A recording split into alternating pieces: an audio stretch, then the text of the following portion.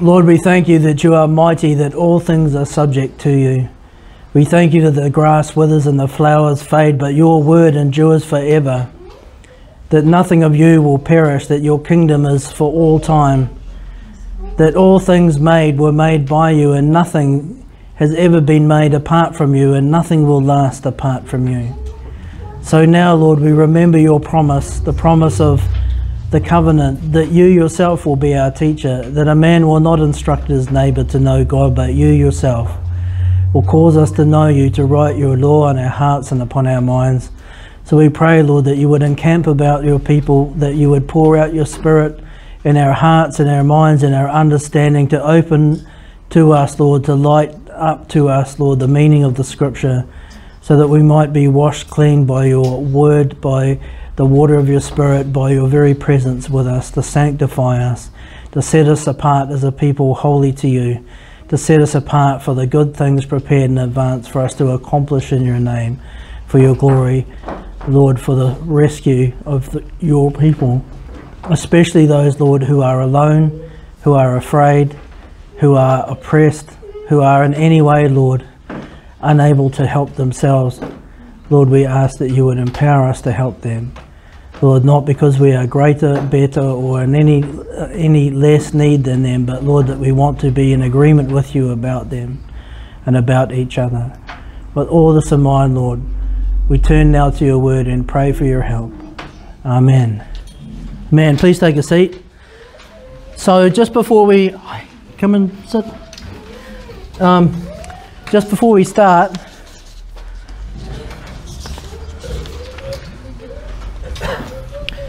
Can we just, uh, we were going to have some visitors tonight from some Moriel people from Upper Hutt, but Steve, who's a lovely, lovely guy, he has to feed through a, like a feeding tube with a, all his food is like baby food in a bag because he has uh, surgeries left him unable to eat properly. And he's really poorly today, like he's like really, really poorly today. So can we just spend a moment um, to pray for Steve and Mel and the family, just that the Lord would intervene, you know, ideally to heal, but if not to heal, at least to bring, you know, His peace and, uh, yeah, assurance to them. So perhaps just if you each, um, so Mel and Steve and the family, just pray quite silently to yourselves. If we just bring your petitions to the Lord for them, I know you don't know them but trust me, if you did, you would be praying for them. Okay, and they want, they really want to come and share with us, but it's very hard for him to travel. He's normally hooked up to a machine, so it's not easy for him to. So um, just for uh, you know, say a minute, Mel and Steve and the family. Okay, thank you for that. Um, hopefully you will get to meet them. They're really super cool Samoan family, but they've really been through the mill and they really love the Lord a great deal. So, yeah, hopefully we'll get to meet them. Yes? Yeah. We all believe that God answers prayer. Mm. We, no one dare doubts that. But how many of you have actually really seen very specific prayer answered? Yeah, a few of you have. Most of you haven't. I had one to win this last week um, one of four requests that I had made to my Heavenly Father regarding my family, um, which I prayed it, but I didn't really believe it would happen. oh, no, you little faith. But I, won't, I can't share the nature of it, but it was enough that captured my attention, and I reconfirmed it um, in another way this week. Um, but these were four very specific things regarding my family, which spread over a number of years. And I was very, I had to make sure that this, these were the things that our, our father would, would likely to answer. Now remember what I shared with you about praying in Jesus' name. It's mm-hmm. not you don't make a request and have this magic incantation at the end. Mm. Some of you are still falling back into that pattern. Um, but saying in Jesus' name amen is not praying in his name. It's just that's just a magical formula that we have learned to do out of tradition. But when you understand that the Father's nature and his character, what he desires, we can pray according to that. And we can see it. Now, it didn't happen, happen overnight for me, it happened over a number of years. but the fourth one happened today, a week ago. and then it got reconfirmed again this week. So think about how you pray, how what you ask for. Don't make it into a formula. Just know know the heart of your heavenly Father and what He's likely to do for you, and then ask according to that. Awesome. Okay, so tonight is a bit of a recap because we're working our way through First John, but I really felt to like slow down and back up a bit to part of what we did last week. Because of some things that have happened in the world and with people I know and it's like you know sometimes you take the hint from the Lord that this is something he really wants us to really really understand because if we don't we'll be vulnerable to what's happening. So uh, hopefully I can manage to make sense because it's a subject that while actually astonishingly simple is almost completely not understood in the church it baffles me as to why but there you go so hopefully by the end of the night we'll have a much clearer view of a couple of things that what Wayne just shared, can I, it sort of ties in a bit to this, so can I just expand slightly? When you pray in the name of the Lord, what, why do we say that? It's because of what Jesus said, isn't it? Can anyone give me, never mind the scripture reference, what did Jesus say that has us doing that? If you ask anything, isn't it? Anything. Now it sounds like he means if you ask anything, right? But you have to remember it's he's a Hebrew speaking to Hebrews, okay? The key is what he says next, in my Shem. And so in English we say name, in the Hebrew it's Shem.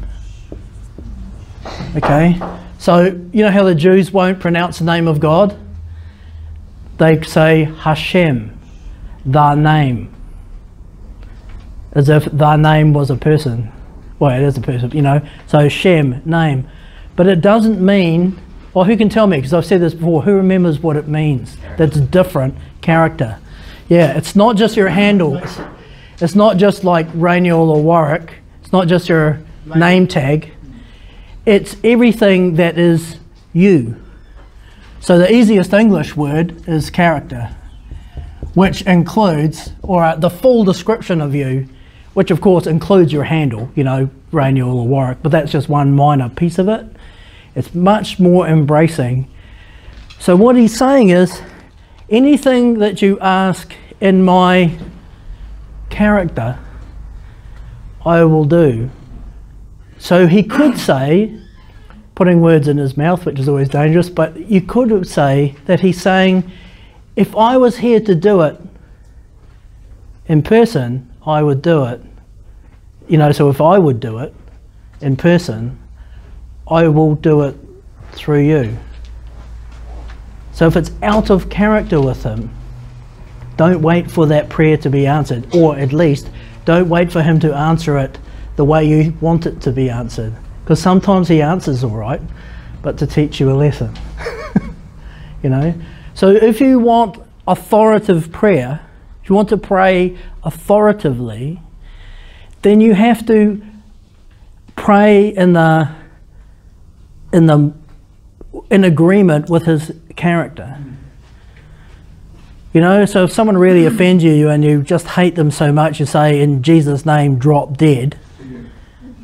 Are they going to drop dead? Why? Because if Jesus was there, he wouldn't say that. He wouldn't, you know, it's out of character.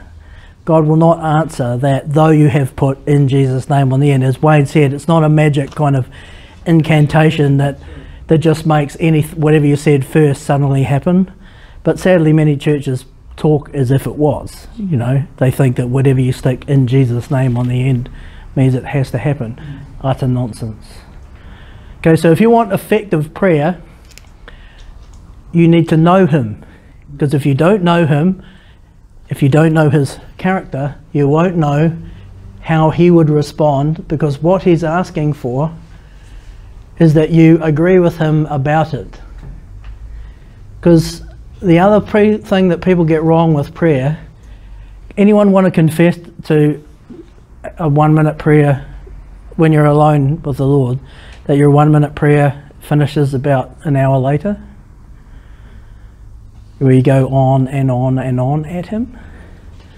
How much more? Some people actually pray like that. Yeah, how much more do you think He understands your request at the end of the hour than at the beginning? Not, not any extra. Why? Because He understood it perfectly before you opened your mouth. Okay?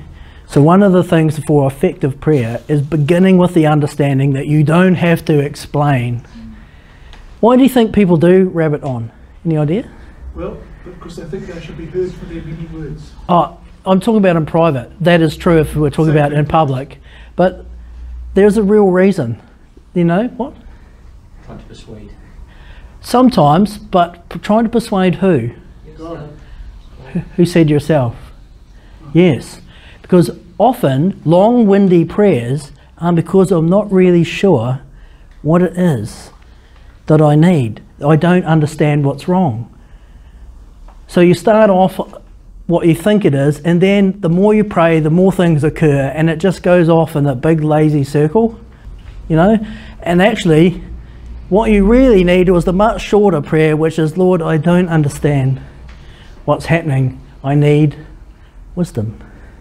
I need you to instruct me and to lead me and to bring me into agreement with you about whatever that is that's happening. You understand? Because we have a tendency to belittle God in our prayers and treat him as if he'll be able to answer when he finally understands what I'm asking. You know? Thankfully, he's inordinately patient. Very patient. How can you tell? I'm still here. you know? Okay, so anyway, that will those things will tie in a little bit with what we're talking about. So tonight is a bit of a recap about some of the things we've done in the first two parts. The things that John has to say in his first epistle. So just going back and recapping, remember John makes it very clear to us that he's speaking as someone who was instructed by the Lord face to face. The reason this is so important and will become more important as time goes on is that what's happening in the church is that people are saying, oh, we have to go back to this and we have to go back to that and whatever, but none of them are actually saying you have to go back to the Word. Some want to go back to the Desert Fathers, you know, the origins of the Catholic Church, and that that's like 300 years after Christ. Others want to go back to John Calvin, 1500. Others want to go back to this thing or that thing. None of those people that they want to go back to were instructed by Jesus face to face. But God gave us the scripture so that you can hear from not only his son, but also the apostles, the disciples of his son, who were instructed in person, face to face by God. So the reason things like the epistles are so important is that's what you're reading. You're reading the testimony of someone who was taught in person by the Lord. Do you see the difference? When it comes to the crunch, and remember, more and more deception is going to come into the world, and is already that's happening at an alarming rate. Don't you want the solid ground under your feet? So more and more we have to push past all the whatever is becoming popular in the church or whatever, and make sure that the solid ground we are standing on is the testimony of those who received it firsthand. It's not second hand understanding. Does that make sense? And we have looked in the last couple of weeks at theme, the, the theme of his first part, which is we have to do what? We have to walk in the light as he is in the light. What does John say about people who don't do that? Remember? If you don't walk in the light as he is in the light, you deceive yourself. The truth is not in you. Okay? If the truth is not in you, what else is not in you? Or who else is not in you? What are the names for the Holy Spirit? He is the Spirit of holiness. He is the Spirit of truth. If the truth is not in you, the Holy Spirit is not in you either. You're not, uh, you're not born again. You are self deceived. You think you're a Christian, but you are not. The Spirit in you is something else. That's what John's warning about. Okay, be very clear on that. And we also learned in, the, in our last couple of sessions that how much use is religion to your salvation? By religion, I'm talking about all the trappings. Zero. None. We're going to focus on this a bit more. The labours of the nations are but fuel for the fire. Remember Habakkuk 2. And Matthew 7, remember Matthew 7? Lord, Lord, look at all the things we've done in your name.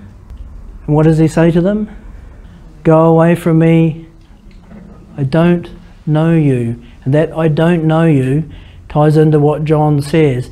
If people do not walk in the light of Christ, they they deceive themselves and what he says they deceive themselves about is they deceive themselves about knowing him.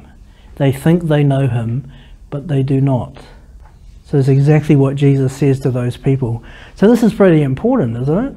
You don't want to hear, the last thing you want to hear, or the last thing you want anyone you care about to hear on that day is go away from me, I don't know you. The fact that they did heaps of works, do they know he's the Messiah? Yes, they're calling him Lord, Lord.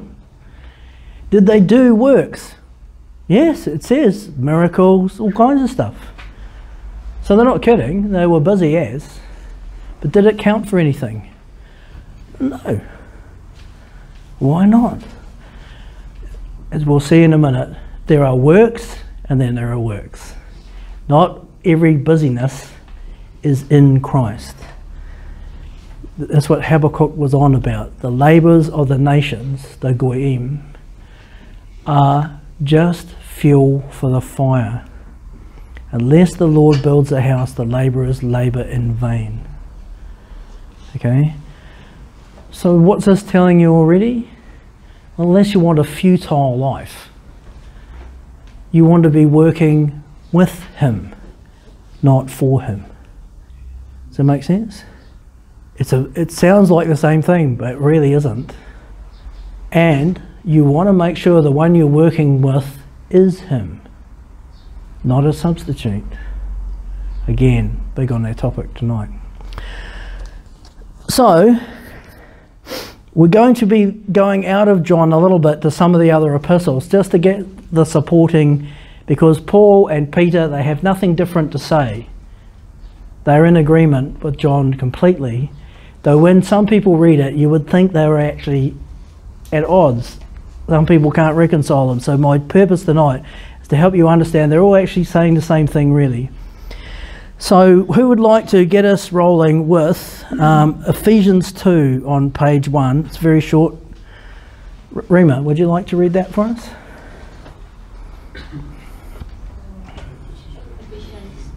Yep. verse 8. For it is by grace you have been saved through faith, and this is not from yourselves. It is the gift of God, not by works, so that no one can boast. So, the very first thing that you need for salvation is what? Grace. And it's this word here, charis, okay, from which you get the word charismatic. Can anyone remember from last week?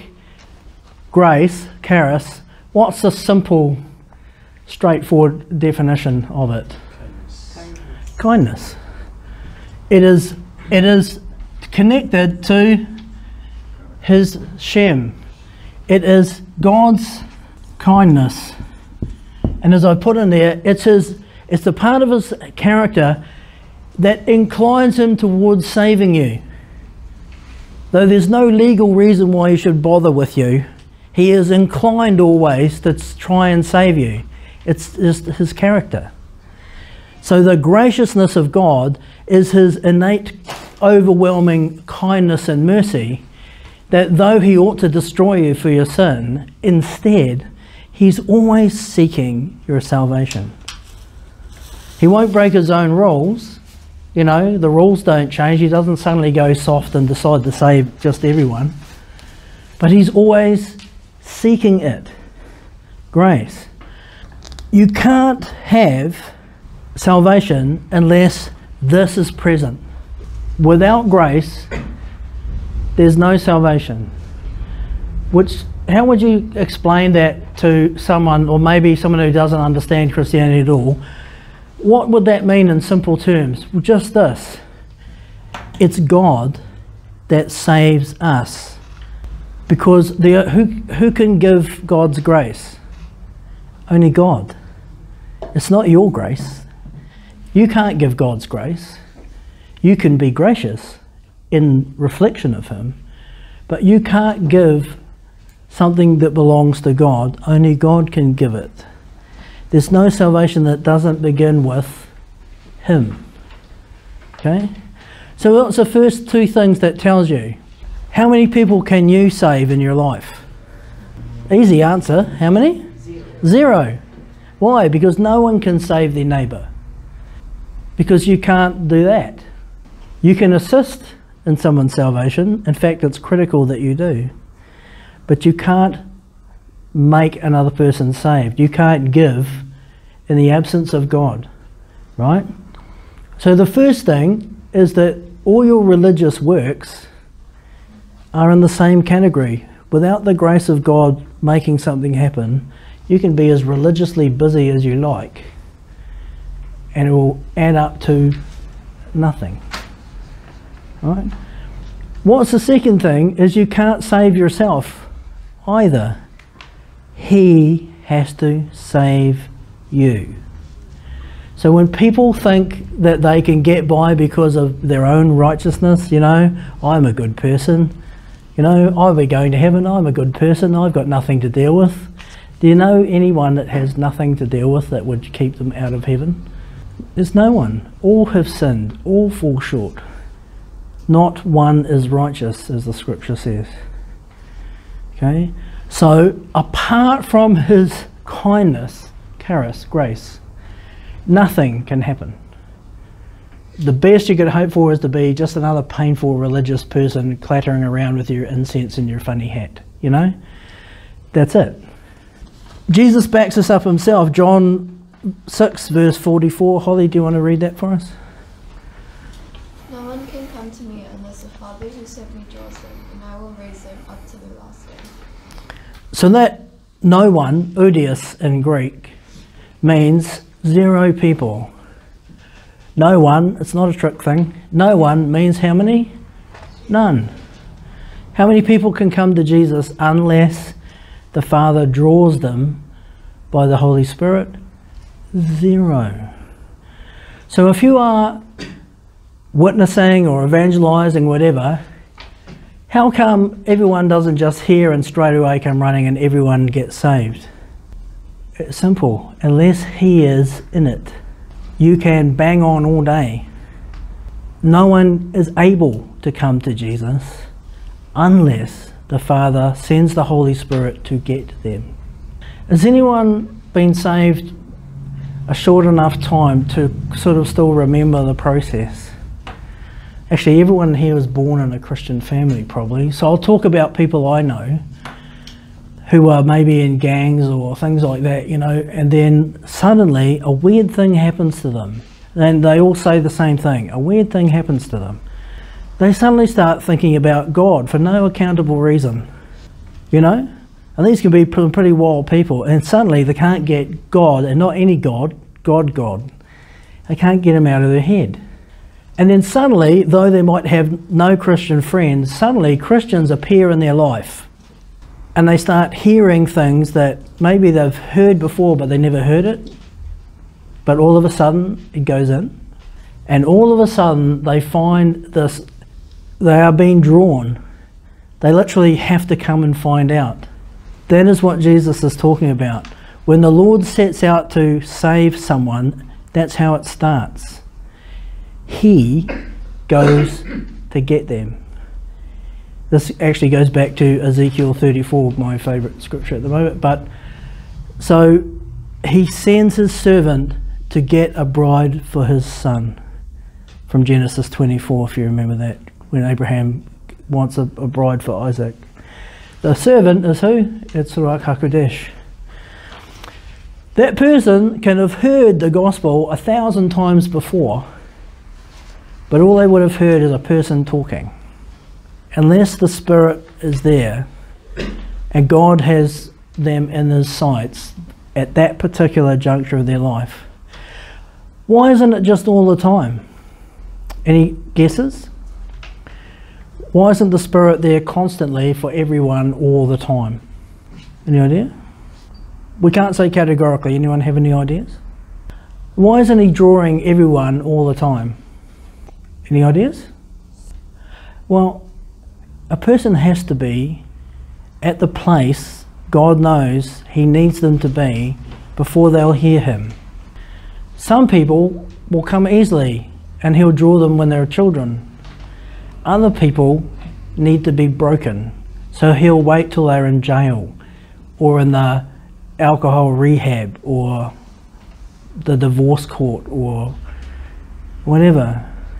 My friend Rochelle and I went to a cafe one Friday night and she had amazing discernment. Like there's a big radar dish turning on her head. She could spot someone God wanted to talk to a mm. thousand yards. And there's a guy sitting by himself in the cafe, nice looking guy sitting there by himself. And she said to me, oh, just pray because I have to go and talk to that guy. And I'm like, do you? And she said, mm, I do. Wait here. So off she went and she plonked herself down in front of him, all cheerful, and said, Hi, I'm Rochelle. I want to talk to you about Jesus. She was very direct. And he didn't look very happy, as some people don't. But she wasn't going to be put off. And she just said to him, God wants you. And whatever's just happened in your life, it matters to him. Well, that did it. He burst into tears. You know what happened? He'd been married two days before, and the day before, one day after he was married, the wife ran off with the best man. His best friend ran off with his new. I mean, they could have at least had the decency to run off before the wedding. So imagine how devastating that is. So now someone wants to come along, tell you that Jesus loves you and everything's going to be great. Wouldn't you want to just punch that person right in the nose? Probably, you know? God, you bastard, you know, what have you done to me? That's the usual thing, right? Except it's called the eklentos, the presence of the Spirit was there really powerfully because what came out of Rochelle's mouth was really what God meant. It mattered to him what had happened.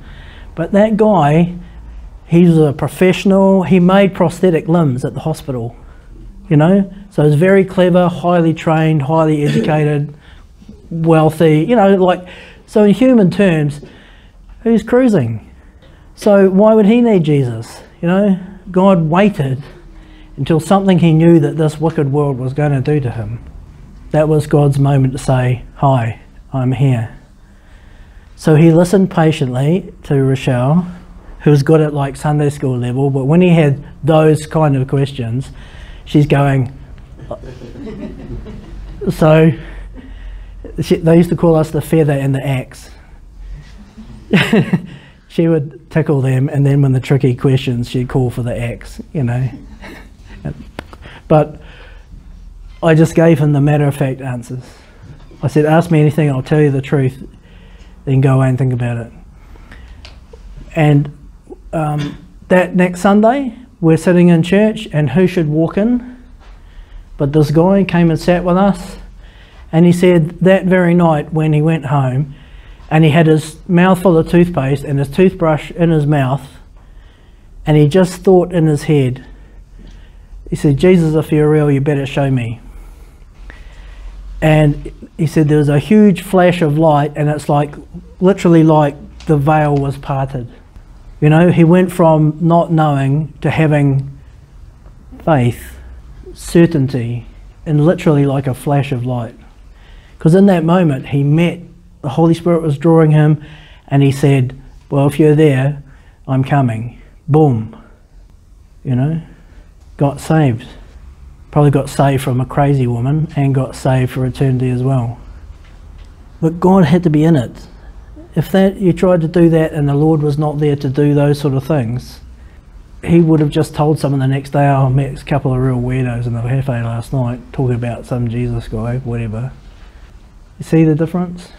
Anyway, the look up Genesis 24 when you get home or when you're doing your review because this tells you the pattern of how all this works. Jesus is not making anything up. He's drawing on something the Jews already understood. If you're a girl and oh sorry, if you're a guy and you wanted to get married in old Hebrew culture, who primarily would decide who you should marry? Your dad. Right? And at the very least, even if you had an idea, if he didn't approve, not happening. So we get a hangover of that. Well, not so much today, but those of us of a certain age would remember that you could never hope to get married unless you had her, if you're a guy, you could never hope to get married unless you had her dad's approval, right? If you didn't have the approval of the parents, just forget it. So that's a hangover from that thing. But it's not arranged marriage like in India or whatever. The key thing is the girl would be, the families would agree, everything would be agreed, and then they would ask the girl herself. What happened if she said no? Doesn't happen. Doesn't happen, it's just off. There's no coercion. So in the Hebrew system, the father did the choosing. He'd say, I think this is the girl for you.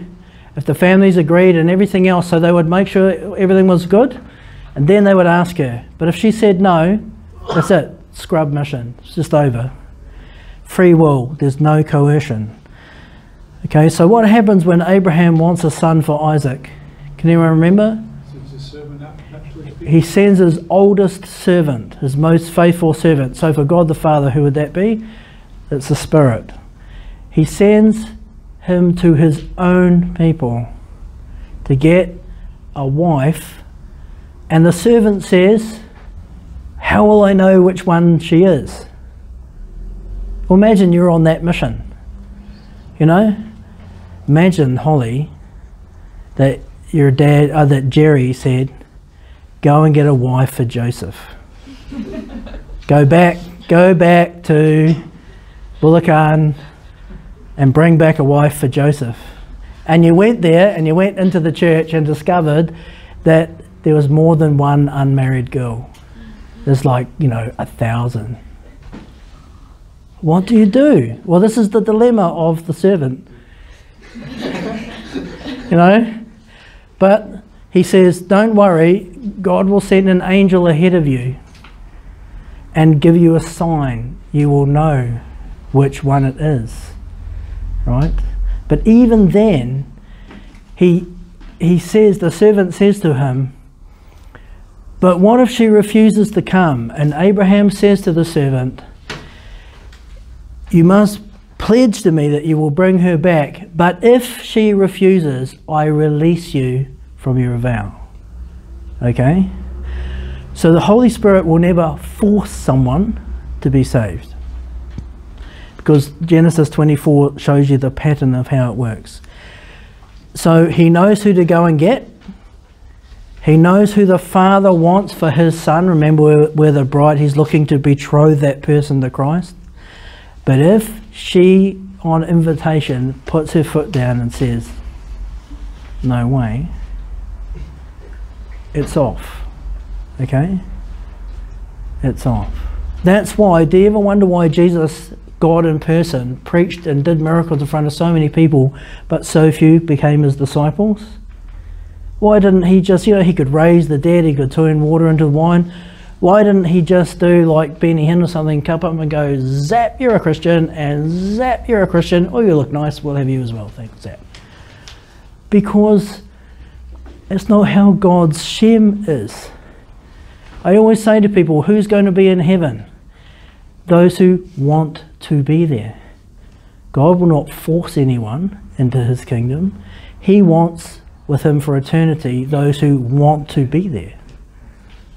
Understand? So free will is a big thing. And we won't, so read that story for yourself. It's very instructive, but it's teaching you about how that initial salvation process works. Okay? Why does, the, why does, do you anyone remember the wife's name?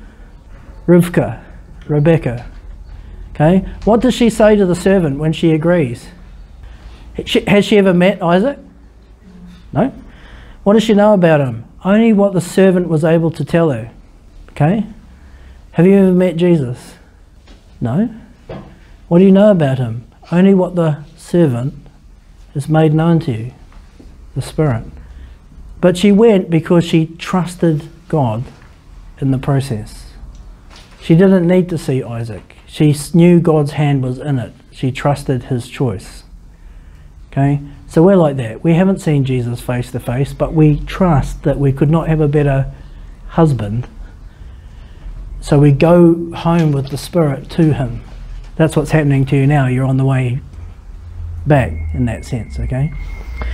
Anyway, all the way through, it begins with grace. God at the beginning, if He's not there at the beginning doing the drawing, it's not real salvation. Can you have a fake salvation? Yes, you can. What would that look like?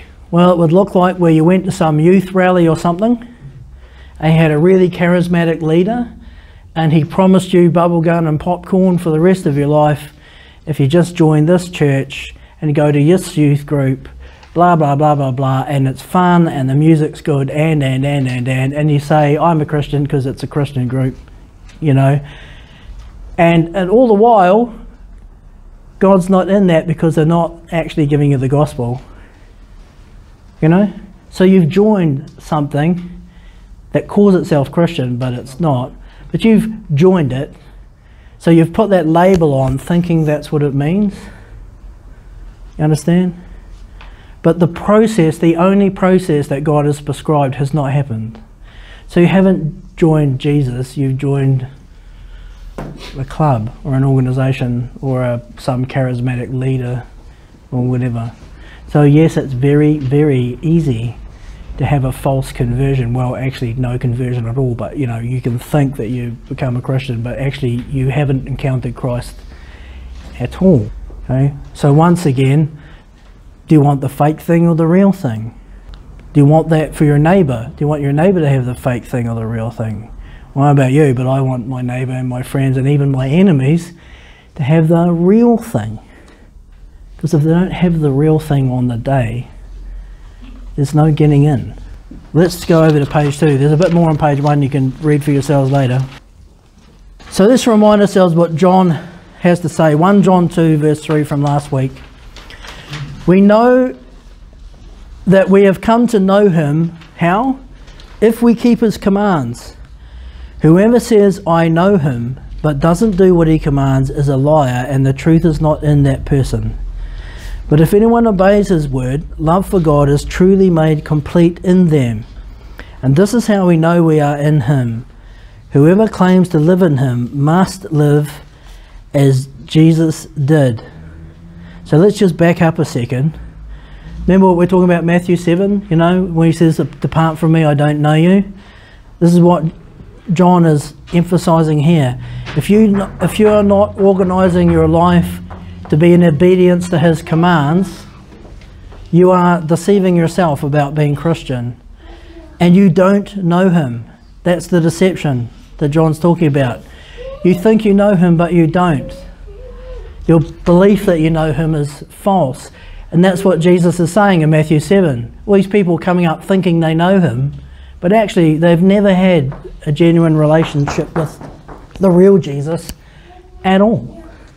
So, what Jesus have they had a relationship with? Well, just one of the endless list of substitutes. You know, the list is never ending and grows by the week.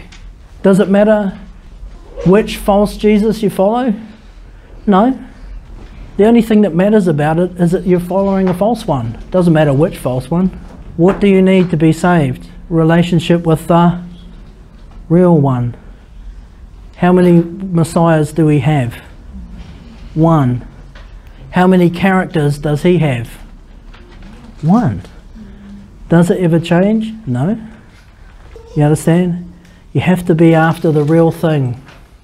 That word there, it says, whoever claims to live in him must live as Jesus did. Now, this word here, opheilo, opheilo, which gets translated as must. If you read that in English, it sounds a bit like a kind of military command, doesn't it? You know, like or or, or a traffic rule. You know, you must be exactly like him. It's a not particularly good translation. This word here means that you are obligated. Can anyone tell me what obligated means? What is an obligation? A debt has to be paid. It's like a debt. You owe it. If you have an obligation, it's something you owe. So let's read it that way that verse 6 there in bold. Whoever claims to live in him owes it to Jesus to live as he did. Do you understand?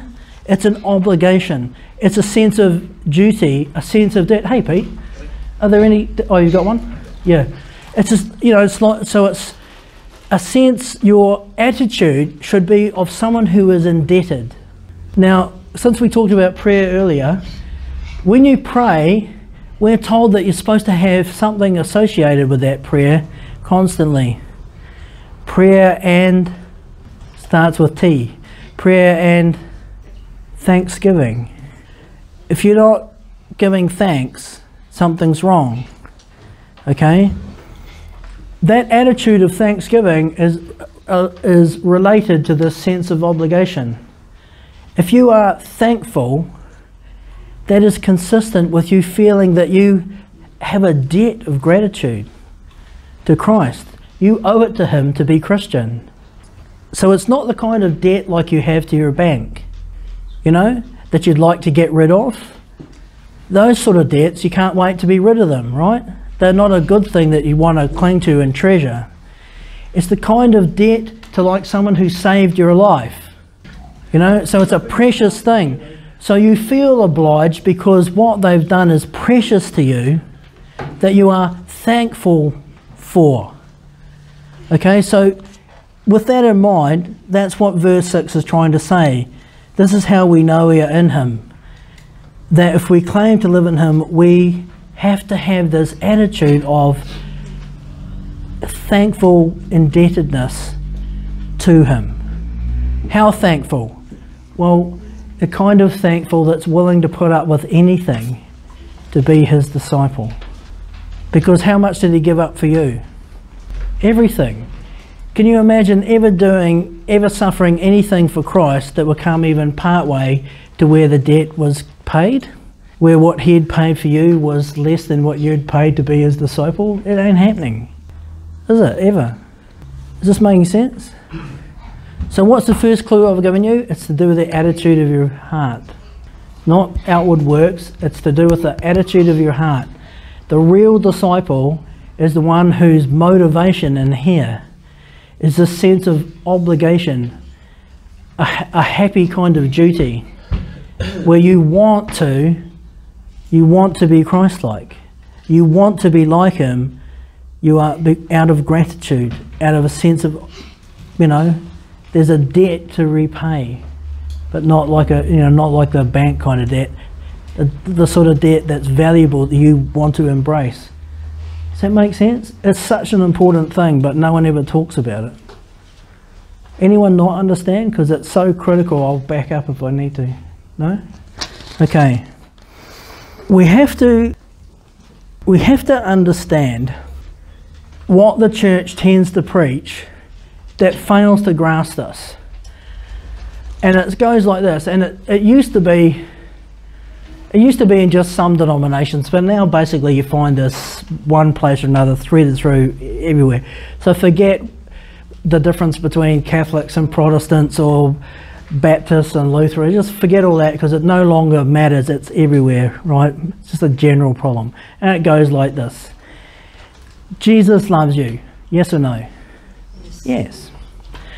And he died for our sins. Yes. And he has he has washed away all your unrighteousness? What's the answer? The answer is maybe, because that dreaded word if is there. The first two things are absolutely universally true. But John has just finished telling us that unless we walk in the light, unless our heart attitude is this sense of, you know, indebtedness, obligation, then we cannot have assurance that we are in that happy state where his sacrifice is effective for us. Because unless you're in the relationship, you can be deceiving yourself that you're a Christian. You understand? But the church doesn't tell you this. So they, they just assume it in a global sense. You understand? So they'll have people believe that their sins are forgiven, that they you know, it's all tick, tick, tick, tick, because of what Jesus did, as if nothing you did would have any impact. And if you get to very Reformed or Calvinist churches, as we've talked about, remember Tulip and the things we don't want to go back over all that, but if you get to that kind of extreme end of the scale, well, they make a profession out of insisting that nothing you could do could have any impact because Jesus has done this and that's it, job done, finished, you are saved, boom, full stop. Nonsense. Scripturally speaking, nonsense because you'd have to cut John out of your Bible and throw that away, then you'd have to cut Paul out of your Bible and throw that away because none of them say that, as you've just seen. Okay, so the danger is of falling into this lazy understanding that lures people into thinking that they are safe to go on living any old how because Jesus loves me, and you can't argue with that because it's true. Because he died on the cross for me, and you can't argue with that because it's true. But where it all falls off the rails is where they are convinced that, therefore, regardless of what I do now, he's just going to save me. And if you get the you know the churches that like the nice music and they bring the house lights down and you know like a rise or whatever Hillsong. But they make it almost like a romantic love with Jesus. What's wrong with that? Based on feelings and sentiment. That's part of it. There's another thing. Remember, it's all about, it all hangs on the genuine Shem, the real character of the real Jesus, right? When I say Jesus loves you, what do you think the attitude of his heart is? Put it in human terms. We'll ask a parent. So I know it's inconceivable to imagine, but you have to imagine that Faith ever misbehaved.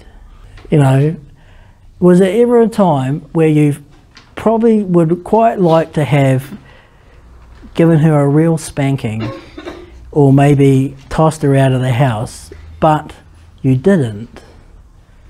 because something stronger made you want to fix her instead.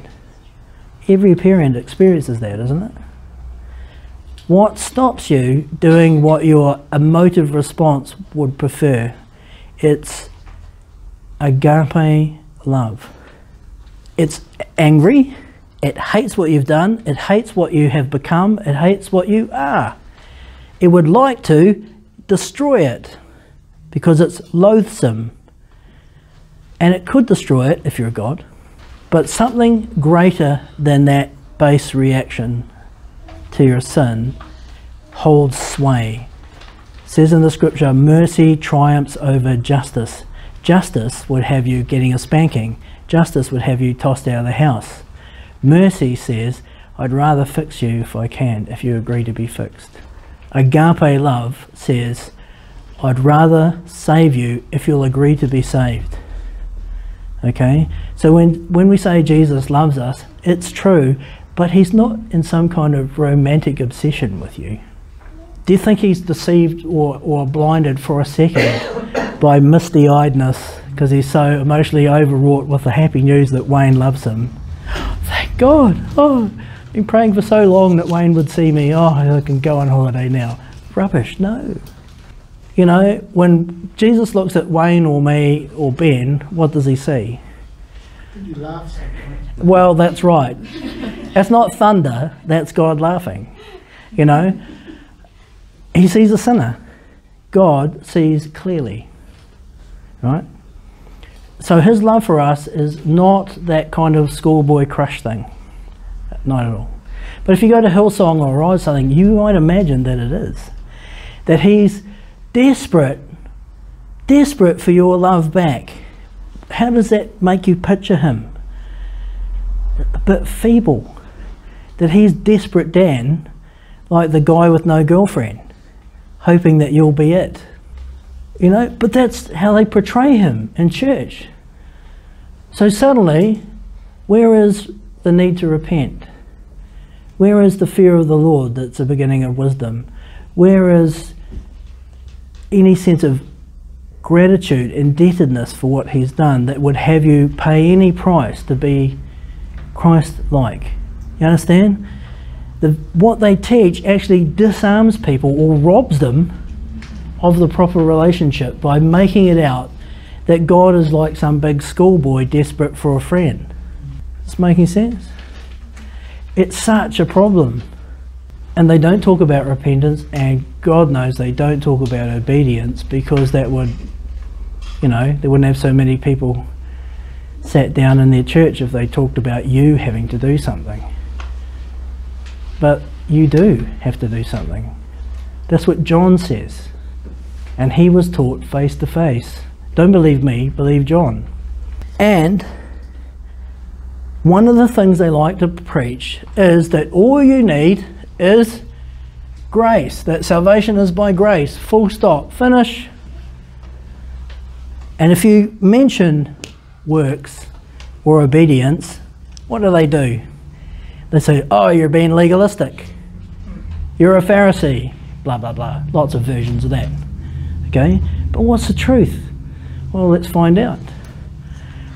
Who knows who James is in the scripture? The Epistle of James. So it says he's a brother of the Lord, right? So again, someone who knows him face to face. So you think he knows what he's talking about? I should think so. Let's look what James has to say. Ben, would you like to honour us with that one? What good is it, my brothers and sisters, if someone claims to have faith but has no deeds? Can such faith save them? Suppose a brother or sister is without clothes and daily food. If one of you says to them, Go in peace, keep warm and well fed, but does nothing about their physical needs, what good is it? In the same way, faith by itself, if it is not accompanied by action, is dead. But someone will say, You have faith, I have deeds. Show me your faith without deeds, and I will show you my faith by my deeds. Is that unclear in any way? faith without action, without work, deeds, is what, according to James? It's nothing. Well, it's something, it's just what? It's just belief, isn't it? And a really good object lesson for us, if you don't know this already, take note, read James 10 times before going to bed. If you see someone in need, particularly if the Spirit prompts you, gives you a jab, and you just say, Oh, God bless you, Jesus loves you, you should come to my church. You could sit next to, well, not me, but someone I know, you know, and then you go off. How Christ like is that? What good is that faith, according to James? Worthless. Worthless. What's better? Who serves God? Someone who does that, or an unbeliever who comes up and, and says, Are you hungry? Wait there, I'll buy you a sandwich. Which one served the Lord? The last one. You understand? Faith without deeds is nothing but just belief. And I know we've said this a thousand times, but what's another proof from the scripture that just believing Jesus is the Messiah doesn't make you saved? Even the demons know that he is God and tremble. Remember when Jesus gets out of the boat coming across the lake and Legion, they're representing, well, Legion is at least a thousand troops in the Roman army, so that so he's speaking on behalf of at least a thousand demons. And what does he say? You, know, you think a thousand demons, that's a force to be reckoned with, yes? But what's his attitude when Jesus steps out of the boat? He's quaking with fear, and out of his mouth comes what? Jesus, Son of the Most High God, what do you want with us? Well, there's no doubt that Legion knows without any doubt. How much faith does Legion have that Jesus is the Messiah? 100%. No question. Right? Are those demons saved? Not at all. So it doesn't matter where you go in Scripture, it's the same thing. Just believing that Jesus is the Messiah is only part of what you need. It is not the answer to salvation. Again, coming back to what the churches preach, what do they tell you? If you just believe and confess with your mouth, you'll be saved. They're quoting the scripture, but they're changing what the scripture means. Because Jesus just met with a demon who believes he's the Messiah and confessed with his mouth. Right? I know it's slightly off topic, but does anyone have a stab in the dark? What does that scripture actually mean then? Because it says that. If you believe, if you believe in your heart. in your heart and confess with your mouth that Jesus is Lord, I think it is, then you will be saved. Right? It says that literally. So we know it can't mean what we were just talking about. What can it mean then? What on earth can it mean? Well, the only way you'll understand it is if you remember it's a Hebrew book. And in, and in Hebrew understanding, what dictates what comes out of your mouth? Your heart. Out of the heart, the mouth speaks. Right? What that means is sooner or later, who you are inside will become obvious by your speech and your action. You know? That's basically what it means. So if you believe in your heart, what does that mean? We're going to break the sentence down. If you believe in your heart that Jesus is Lord, what does that mean? That means who you are inside has to have come to biblical faith. Therefore, what comes out of you ought to be the reflection of that faith. If you reach that condition, then yes, you're a Christian. You understand? That's what it's trying to say. That Christ likeness ought to radiate out of you on account of who you are inside has come to be really His. It doesn't mean what the church tries to make it mean, which that you can get someone who's not heard the gospel at all at some Elim meeting like I used to go with my friend and watch in amazement as people had heard one sermon, usually about tithing or some completely pointless thing. Then there'd be an altar call and they'd just have to go and say the little sinner's prayer. You know, oh Jesus, I believe that you're the Messiah, please come into my life, something like that. And they'd think that's it. They've never, they haven't got the gospel, they don't know him, you know, but they think that's it. And when you think you've got it already, what do you stop doing? You stop looking for it you think you've already got, don't you? And then a couple of weeks later, they've disappeared. You don't see them again because it wasn't real. Wasn't real. Back in Ephesians 2, which you can just look back on the, the front page if you want, it says that we are saved through by grace through faith. This is not from yourselves, it is a gift of God, not by works, so that no one can boast. This word works is a word ergon. Okay, and you've all you should all know this word because it's in English. Okay, ergon means to work, and it has a particular meaning. It means to do the work in order to satisfy the desire that's within you. Okay, so it's to do useful work, not just to be a slave or whatever. And there's another word for the word economic is Greek, right? So if you want to work efficiently, if you want your work to be economic, very efficient, to get the goal that you want in the smoothest, most economic way, what would you call that? You would call it ergon work, econ- economic, or ergonomic. Ergonomic. You all heard that word. So you've come across ergon before. You know, someone designs a better tool and they say it's more ergonomic. That's what they mean. It works more efficiently. So you all know this word, ergon. But its meaning is, and this is the bit I want you to hold, it's not just any idea of just general work. It's work that's driven by a desire to satisfy a desire that's within. Okay, so it's work with a goal. Can I put it that way? Work with a goal. Work because you're after something. And this becomes important when we look at the meaning of these things. So I now just want to come back to this problem with the, the bad way that church talks about these things and look at a particular misunderstanding. And to do that, we're going to pop into Galatians. Now, churches that love the grace only message, what's the attraction of salvation just being by grace and you don't have to do anything? What would make that popular with churches, and especially popular with preachers who want big churches? No effort. No effort. You know, why is it attractive? Because it doesn't require anything of me. And if I am getting paid out of the tithes, you know, I don't, I, you know, I don't take any money anyway. But if I was one of those guys, and you know, my riches were go, were driven by the tithes, what do I want in the church? Lots of people, yeah. So am I inclined, probably, to tell the truth, or maybe a version of it that might be more attractive to more people to come to my church, pay more tithes, and have a bigger car? This is what happens in the real world. That's where the stuff comes from human greed and wherever gets in, muddles things. Next minute, the message is being adapted to suit, right?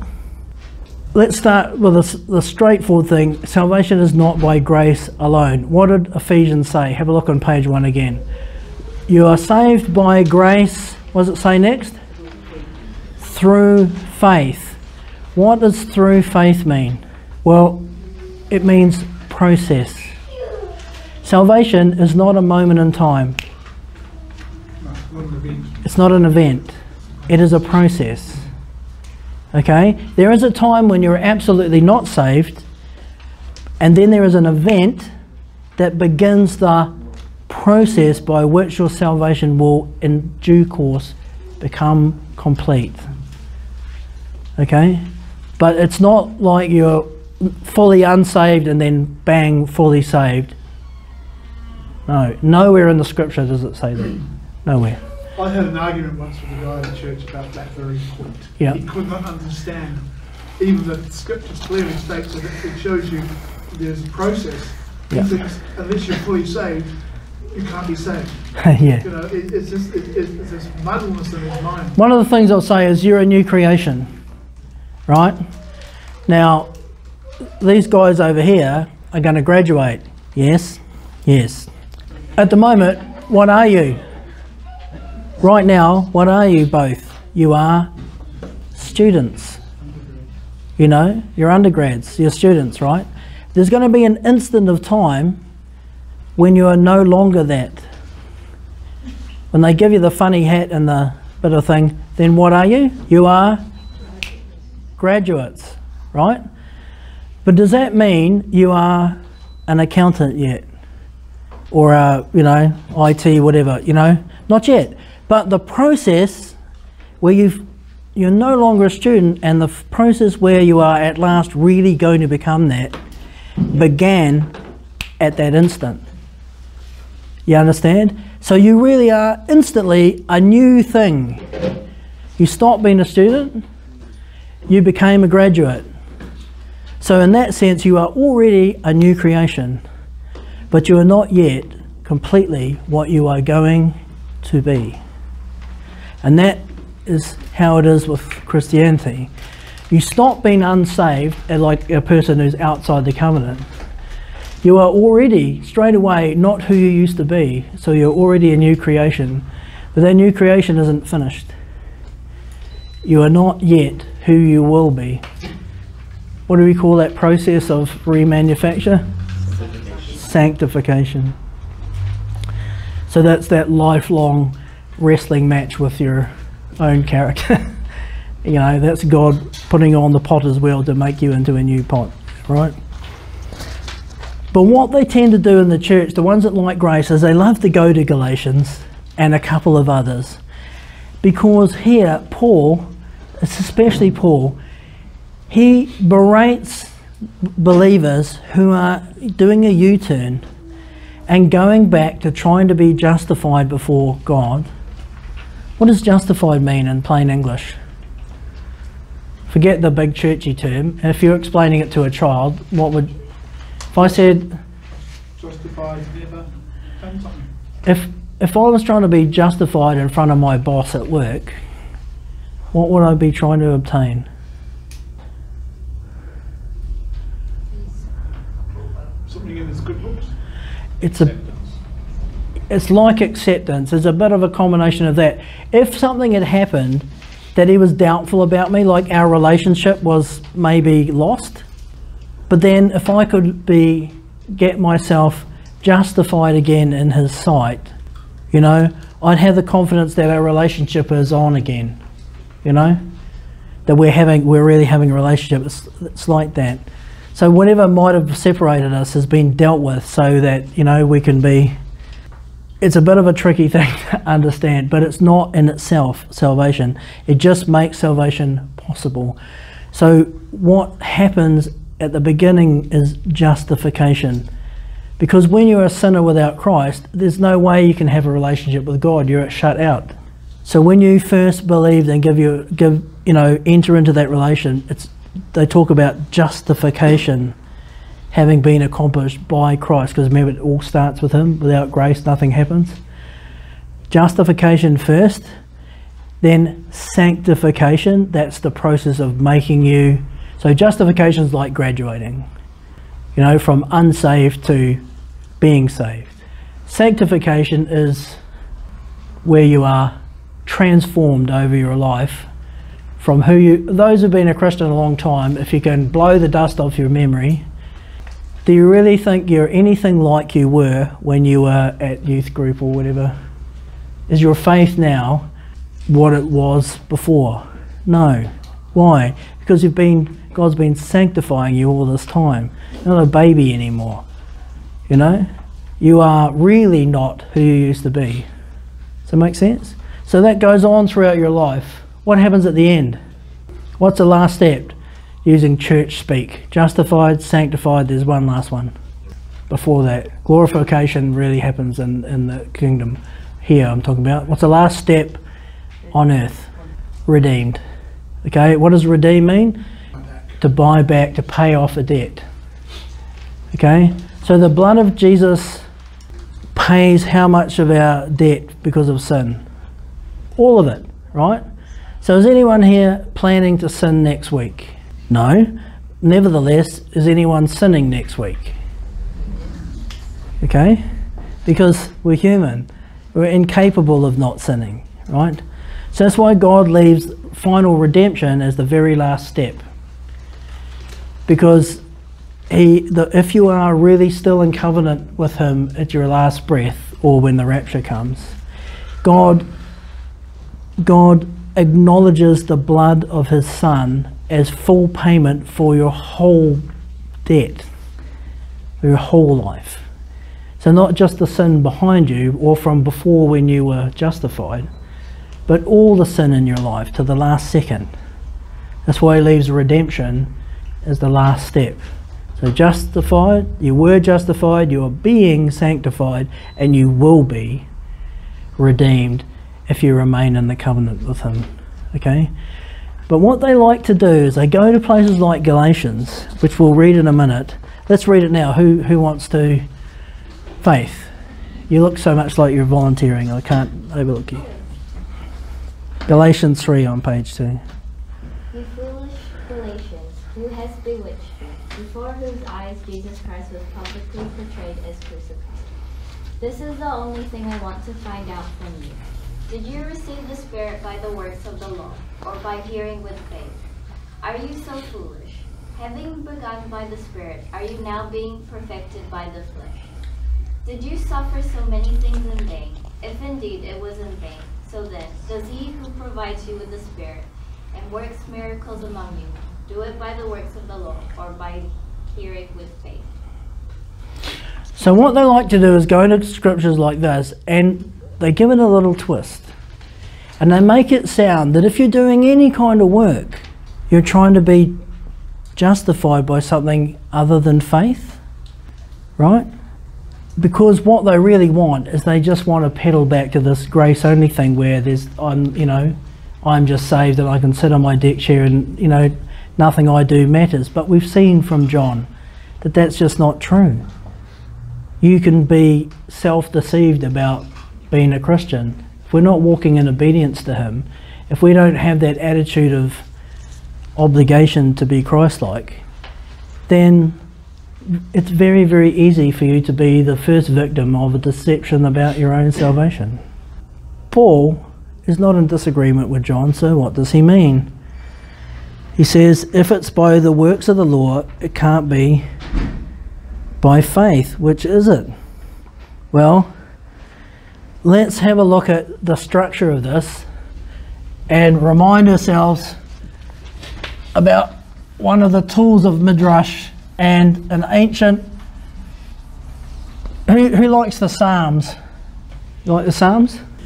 Do you notice in the Psalms, uh, do they rhyme? Do the lines rhyme? Is it poetry? It is. Obviously, it's in English, so it wouldn't rhyme uh, in English like it would rhyme in Hebrew. But here's a tip for you it doesn't rhyme in Hebrew either. But it rhymes to a Hebrew way of understanding. When we, when we do a poem in English, what do we call rhyming?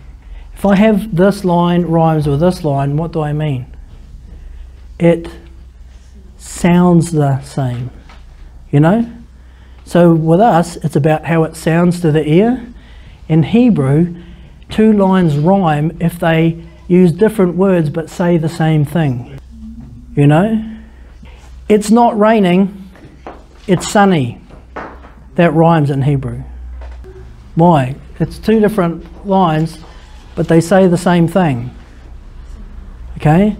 So in the Psalms, next time you're reading the Psalms, have a look and you will see that in all the Psalms, they are poems because the psalmist will say something in a couple of lines, and then usually there'll be a bit of a break, and then the next few lines will use different words, but they'll say exactly what was said before again. And this is how, in Hebrew writing, you can tell what the important point is.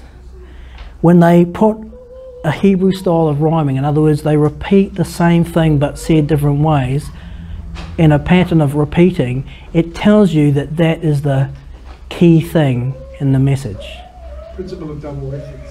Yeah, okay. Then we have that other tool of Midrash, which is remember how, how do I explain what something is? How to make it more clear? I also tell you what it's not contrasting. Right? So, do I need to explain that to anybody? So let's look at the let's look at the example.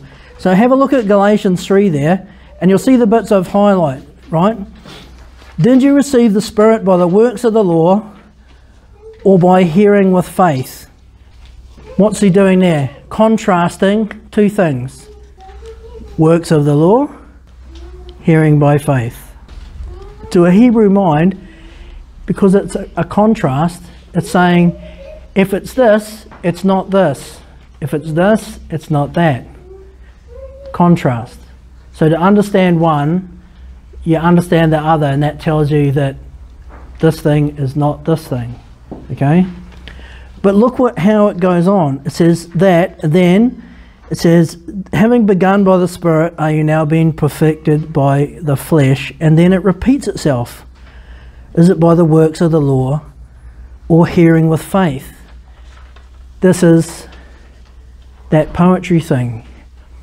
The bit in the middle, the works, oh sorry, having begun with the Spirit, are you now being perfected by the flesh, is actually the same thing in different words. Works of the law hearing by faith, by the Spirit, or flesh, works of the law, or by hearing of the faith. All three things, like a, like a Hebrew poem, actually say the same thing. It makes the same contrast three times in the space of 10 lines.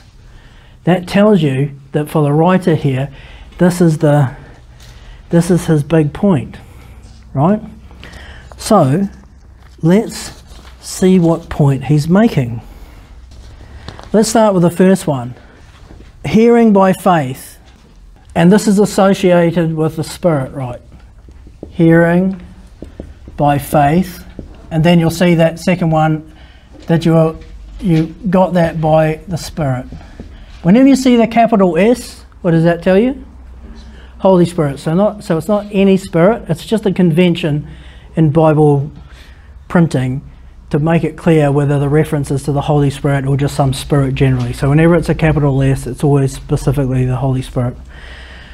So these things he associates that somehow hearing by faith and being drawn by the Spirit are connected. And this, whoops, get my spelling right. akoe pistis. To hear, faith. Can anyone remember? Remember, we talked about this. This is the Greek word that's translated as faith. Can anyone remember from last week what's special about this? Where does it come from? There's another word. You get a gold star if you remember, or you can read it and cheat. It comes from this word peitho. And peitho means, and this is really important to remember, to be fully convinced. Okay? So biblical faith is to be fully convinced. But what's special about this word? This is Greek. Its Hebrew equivalent has the same special characteristic. This gets translated as faith, right? Faithfulness. What's special about it is there's only one word for faith and faithfulness. And just for the sake of anyone that wasn't here last week, why is that such a big deal? Because if we go back to the Old Testament, like in Habakkuk, the righteous shall be justified by faithfulness. Why is it such a big deal that in both languages they only have one word for faith and faithfulness? Why is it such a big deal? Sorry? Your faithfulness is action, but why is it such a big deal that in both languages they only bother having one word for two things? So, just to be clear, by faith we just mean belief. To be fully convinced from peitho, right? So, this is about your mental state. You are fully convinced. You have faith. You are fully convinced. But if we talk about faithfulness, which has nothing to do with belief, it's to do with action, right? Whether you act faithfully or not, it's the same word. It's no different word. Why is it important? What's significant? Yes. Burn this into your head. You know, blazon this into your memory. In both cultures, Greek and Hebrew, it was inconceivable to say that someone had faith if there was no evidence of it being their faithfulness. They would just call you a liar or a hypocrite. Without the evidence of faith, the faithfulness, no one would believe that you had faith, no matter what you claimed. Remember what John is talking about? People, if they don't obey, they deceive themselves. You know, their faith is just a myth. They think they have faith, they do not. If they're not walking in obedience, if the faithfulness is missing, the faith isn't real. There's another even scarier version of that, and this is it. They can be faithful based on a wrong faith. They can be faithful to another Jesus. They can be faithful to Buddha. They can be faithful to Krishna, whatever. You know? The general rule's are the same, but the only thing that saves you, that says you're safe, is if the evidence of your faith is a faithfulness that is faithfulness to Jesus. And what did John say? if we're going to be sure that we're in Him, then we ought to be just like Him. What would that look like? Someone faithful to Jesus will end up reflecting Him, won't they? Being just like Him. That's what John's saying. In English, though, because we have different words for faith and faithfulness, when you come to translate this passage, the translators get there and then sometimes they put faith and sometimes they put faithfulness. And commentators will generally say it's because they're trying to work out which one they meant in the original language, but they're all getting it wrong. They always mean both. They never mean one or the other because in both cultures they're inseparable. I don't want to harp on too much, but it's so important. Is anyone not clear on that? So they always mean faith. So from now on, when you're reading in English, if you come across the word faith or you come across the word faithful, from now on you'll know that what God means is both, always. Faith and faithfulness. The two cannot be separated in God's view of things. Does that make sense? Because for the translator in English, we don't have a single word. So they always have to like pick one that they think is, you know. Stern, who did this, uses the word trust. Trust, yeah. Yeah, which is an interesting. Yeah. So d- is this making sense? Because w- it changes the colour of everything when you understand it how he meant. And what's this business of faith coming by akoe? Hearing. Well, who'd like to read Where's Grace? Oh, did Grace run away? Where is she? Grace, come back. Uh, how about Abby? Can you read us Romans 10? On page 3. For there is no difference between Jew and Gentile. The same Lord is Lord of all and richly blesses all who call on him. For, for everyone who calls on the name of the Lord will be saved. How then can they call on the one they have not believed in? And how can they believe in the one whom they have not heard? And how can they hear without someone preaching to them? And how can anyone preach unless they are sent? As it is written, how beautiful are the feet of those who bring good news. But not all Israelites accepted the good news. For Isaiah says, Lord, who has believed our who has believed our message? Consequently, faith comes from hearing the message, and the message is heard through the word about about Christ. Okay, so if you just look at the next bit under there, thanks, Abby. Faith, pistis, being fully convinced. And also meaning convinced to the point where you decide to be faithful, only comes from what? Hearing. What? The Rhema, the word. Why would it be hearing, not seeing? Yes, and we'll look at this more in a second. It's really specific. It's always hearing, and it's hearing the the rhema. So in the context, it doesn't mean any word. It means the word. Okay. Now, back up in Romans, it says, "How can anyone preach unless they are sent?" Well, anyone could preach, isn't it? Why does he say, How can anyone preach unless they are sent? You, Wayne might know what that word, I, I haven't checked it, but probably, at a guess, someone who's sent in the Greek is apostolos, from which you get the word apostle, right? The apostles, those who are sent, sent by who? Well, at one level, it's sent by the elders of the church, right? But ultimately, it's sent by who? Jesus himself. They are his apostles. He sends them. And if he sends The word would be emissary. yeah, but if he sends them, are they sent on their own? No, because they're sent to convince someone, isn't it? Because the hearing from them, if they've really been sent, says they have to be sent. If they're not sent, nothing's happening. But if someone's really sent by him and they allow you to hear the Rhema, the word, that is what can produce biblical faith, to become fully convinced, right? Now I want to ask you something, a simple question that will help you understand this. Were you there when Jesus rose from the dead? But do you believe that he rose from the dead? How much do you believe it? Are you fully convinced? Yes.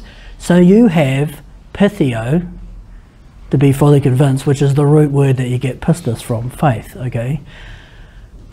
How can you be so certain?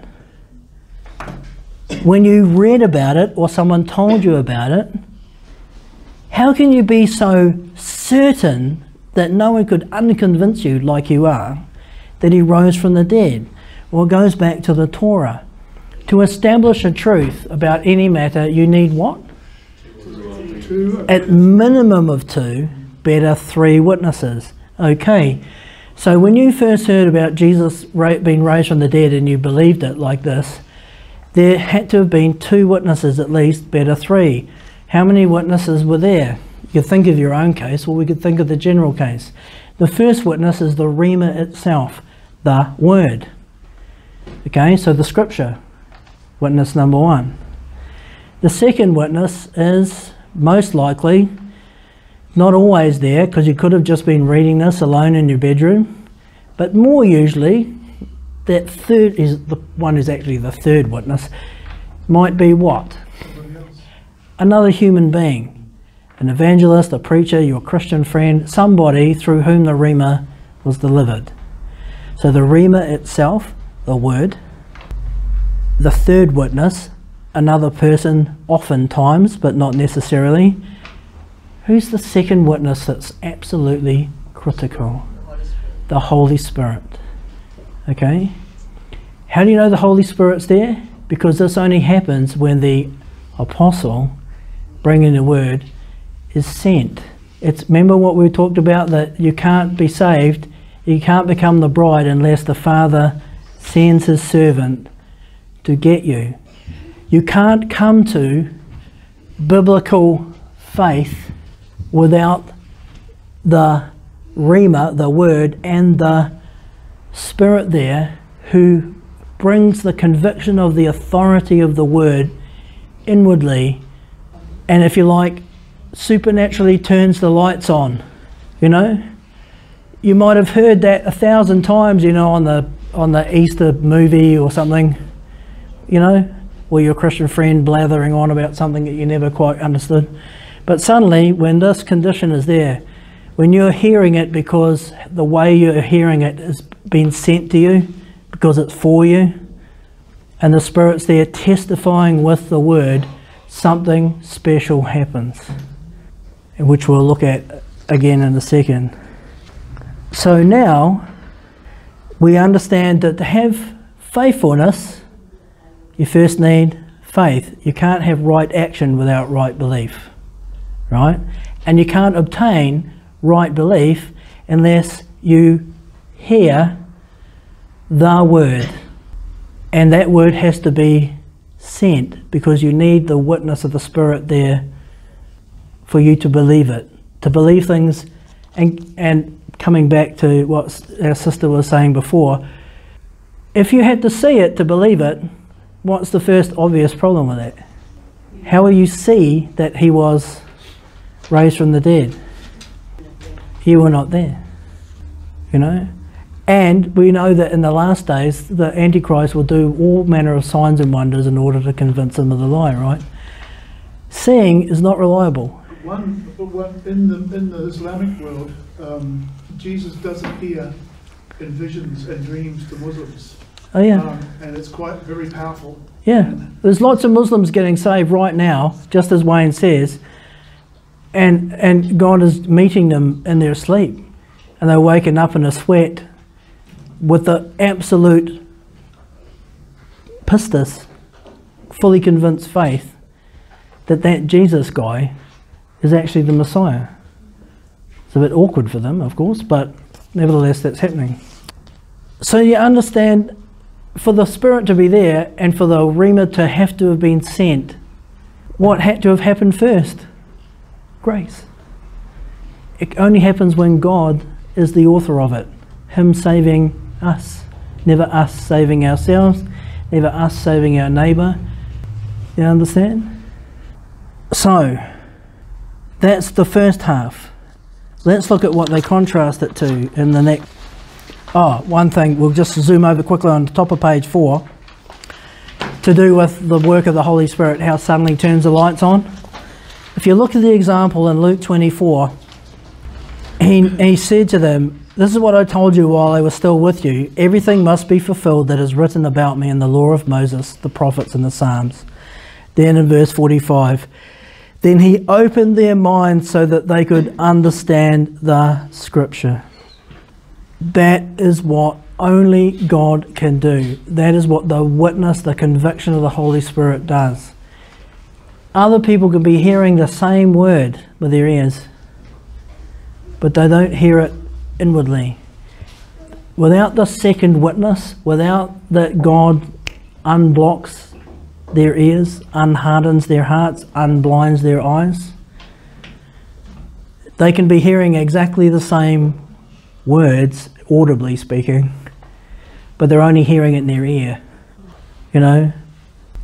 And if you look down at our friends in the book of Daniel, Meshach, Shadrach, and company, look what God does with them.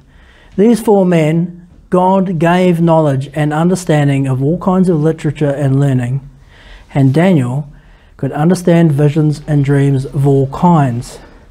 Their ability to understand, Daniel's ability to interpret, where did it come from? It says it was given to them. It's they were not. What's the word I'm looking for, Wayne? It's not of their own nature. You know, they weren't born that way. It says he gave them when they were in Babylon. He gave them these abilities. Why? Because it was equipping them to stand out. Because he was going to. They were going to represent him, even in Babylon. So this, all through the scripture, you find this. God has to be there by His Spirit to make possible that is what is not possible for a human being by themselves. Understand? So, what's the first thing we can say? Is salvation by grace? Absolutely, because it's impossible unless God begins it and is the author of it and the power in it. You can talk the Bible at someone all day long. If God's not in that, it's just words to them. You need the two witnesses, better three. The word itself, the spirit, and if you're involved, you're the third witness. Okay? But if the other two aren't there, nothing's happening. Let's look at the other one that's contrasted then. So, firstly, we talked about hearing, faith through hearing. The other one that they contrast it with is the works of the law. What are the works of the law? Well, the first thing to know is it's not a different word than we saw before. It's still ergon, work, work, or works. But here he's been really specific. It's not just any works, it says works of the law. What law is he talking about? Roman law? What law? God's law, right? Mosaic law. In actual fact, the problem he was dealing with, it wasn't limited to Mosaic law. The problem in the church was who? The Pharisees again. The pressure from those who were afraid of the Sanhedrin. They were trying to have a bob each way. It's an old saying. So, so as to, yeah, yeah. So, so as to not upset the Sanhedrin, they were trying to keep, have their the faith they'd received through hearing through grace, the thing we just talked about. But they were also trying to be justified in the sight of the Sanhedrin by continuing with the temple ritual. Not just the things prescribed in the Torah, or the other stuff that the Pharisees had added. Remember what Jesus had to say about the Pharisees? You know, your, your rules are but rules made up by men. because they added heaps of stuff themselves, traditions. What's, a, what's the most obvious modern example of that in action? Where they go beyond scripture and weigh people down with a million tons of tradition that's not in the Bible. Less people will understand that. What's the most common one that people, especially Filipinos, will understand? Catholic. So if you're a if you're an Orthodox Catholic, you'll have the scripture, and next to it you'll have what? Well, we just call it tradition. So this is God said, and God said, and this is the Pope said. What's the problem? They say that they're on an even footing. That's what's wrong with the Catholic Church. So they, if the Pope issues like a, what's called a papal bull, right, then if you're a good Catholic, you are required to treat that with the same weight as Scripture. Well, that's what the Pharisees were doing. That's what Jesus was ripping them to pieces about. You weigh down the people with things that you've made up yourself. You know, you bind them in all this regulation and everything that didn't come from God. Its source was the priests. All this, you know, the, the Catholic way of doing things is the modern continuance of that. Okay? So, how are you supposed to deal with tradition? Is this absolutely wrong? No, nothing wrong with the odd tradition. But what's wrong with it is when you have it on a even footing. That's the sin. So if you want your priest to wear a funny hat, okay. But if you then say, unless he's got his funny hat on, he can't pray for someone, now you're in trouble. You understand the difference? There's tradition that's just tradition. It's not going to carry any weight. It's just tradition. No problem with that. Yeah, but you know, so in essence, God is not so anally retentive that he can't handle, you know, a bit of culture or whatever. That's not the issue. The issue is where the things of man have been elevated as if they were from him. That's when God is angry. Okay? So, the works of the law isn't just the actual scripture, it's like this it's all the junk that Jesus was trying to free them from. Everything that the Sanhedrin and the Pharisees had weighed the people down and tangled them up in. People who had been justified, you know, salvation had started, were suddenly going back and getting themselves entangled again with what they were just minutes ago escaping from. Usually out of fear of the priests, you know, trying to, as I said, having a bob each way. That's an old say, but it's like trying to please both sides.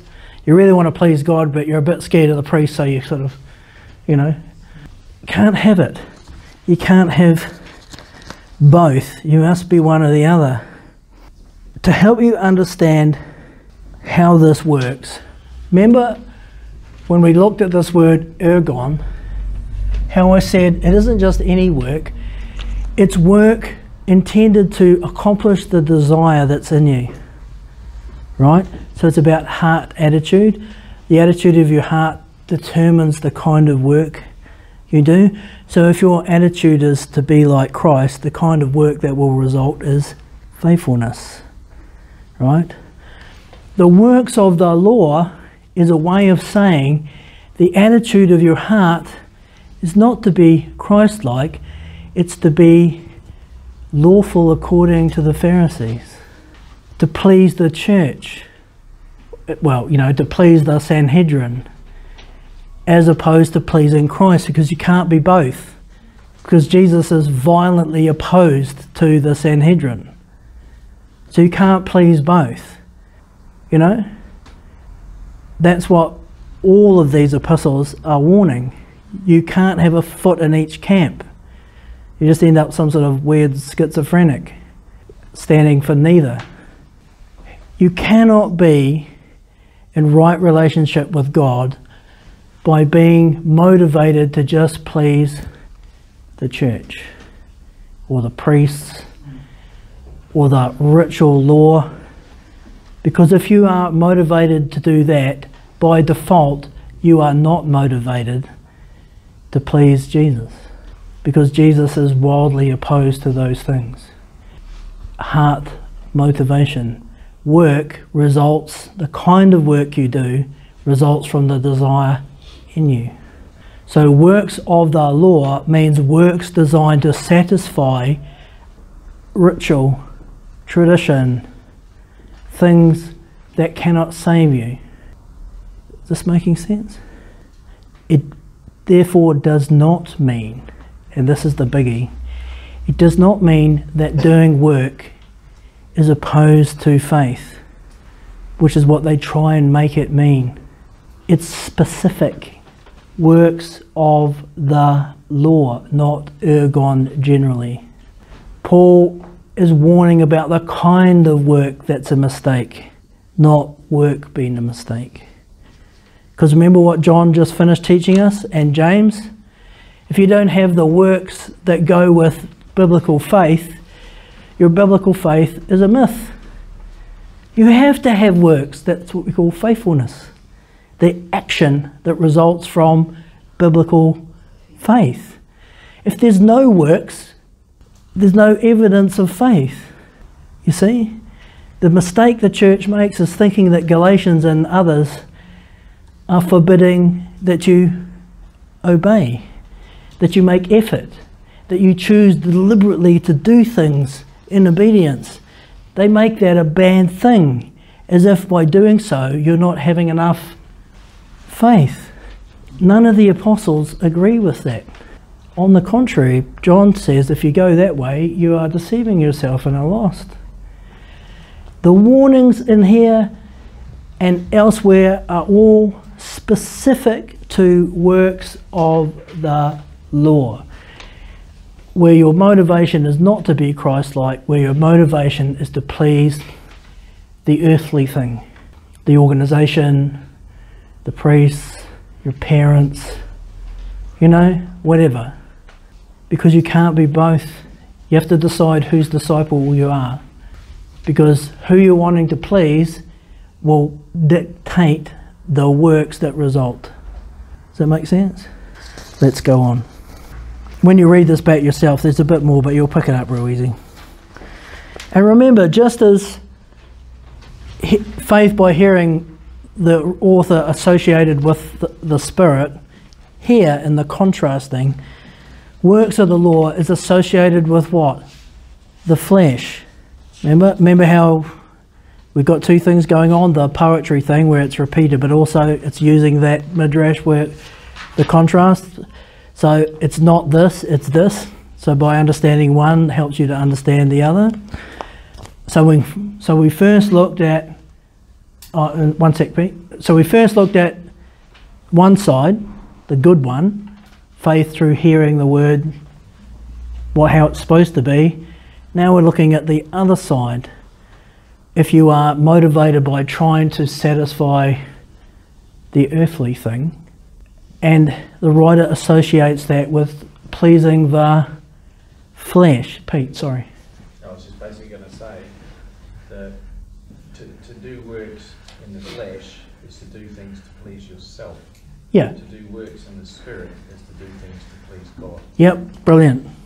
Add that to your thinking because that's that's being on. So let's have a look at Galatians 5, and I'll just read this one out. And let's look at this whole business of the flesh, right? Because this is what the writer associates with people who are trying to be justified by works of the law, you know, the, the wrong side that he's trying to emphasize. Yeah, let's see what this flesh business is about. So in Galatians 5, you read, You, my brothers and sisters, are called to be free. Is that true? But doesn't it matter what free means? And this is what he's about to talk about. But do not use your freedom to indulge the flesh. Rather, serve one another humbly in love, and that's specifically agape. For the entire law is fulfilled in keeping this one command love your neighbor as yourself. If you bite and devour each other, watch out, or you'll be destroyed by each other.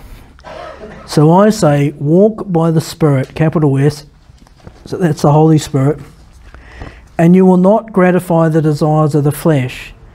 For the flesh desires what is contrary to the spirit, and the spirit what is contrary to the flesh. They are in conflict with each other, so that you are not to do whatever you want. Let's pause there a second. Remember how I said that the writer is deliberately doing this contrast thing? You know, you can't have it both ways. It should be this, not this. That's why he's setting up the contrast so you can more clearly see this is what you want, this is what you don't want.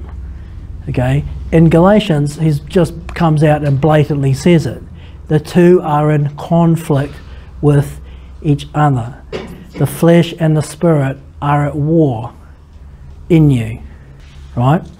But you can't be neutral. That's what he's saying. You can't be Switzerland. You have to take sides.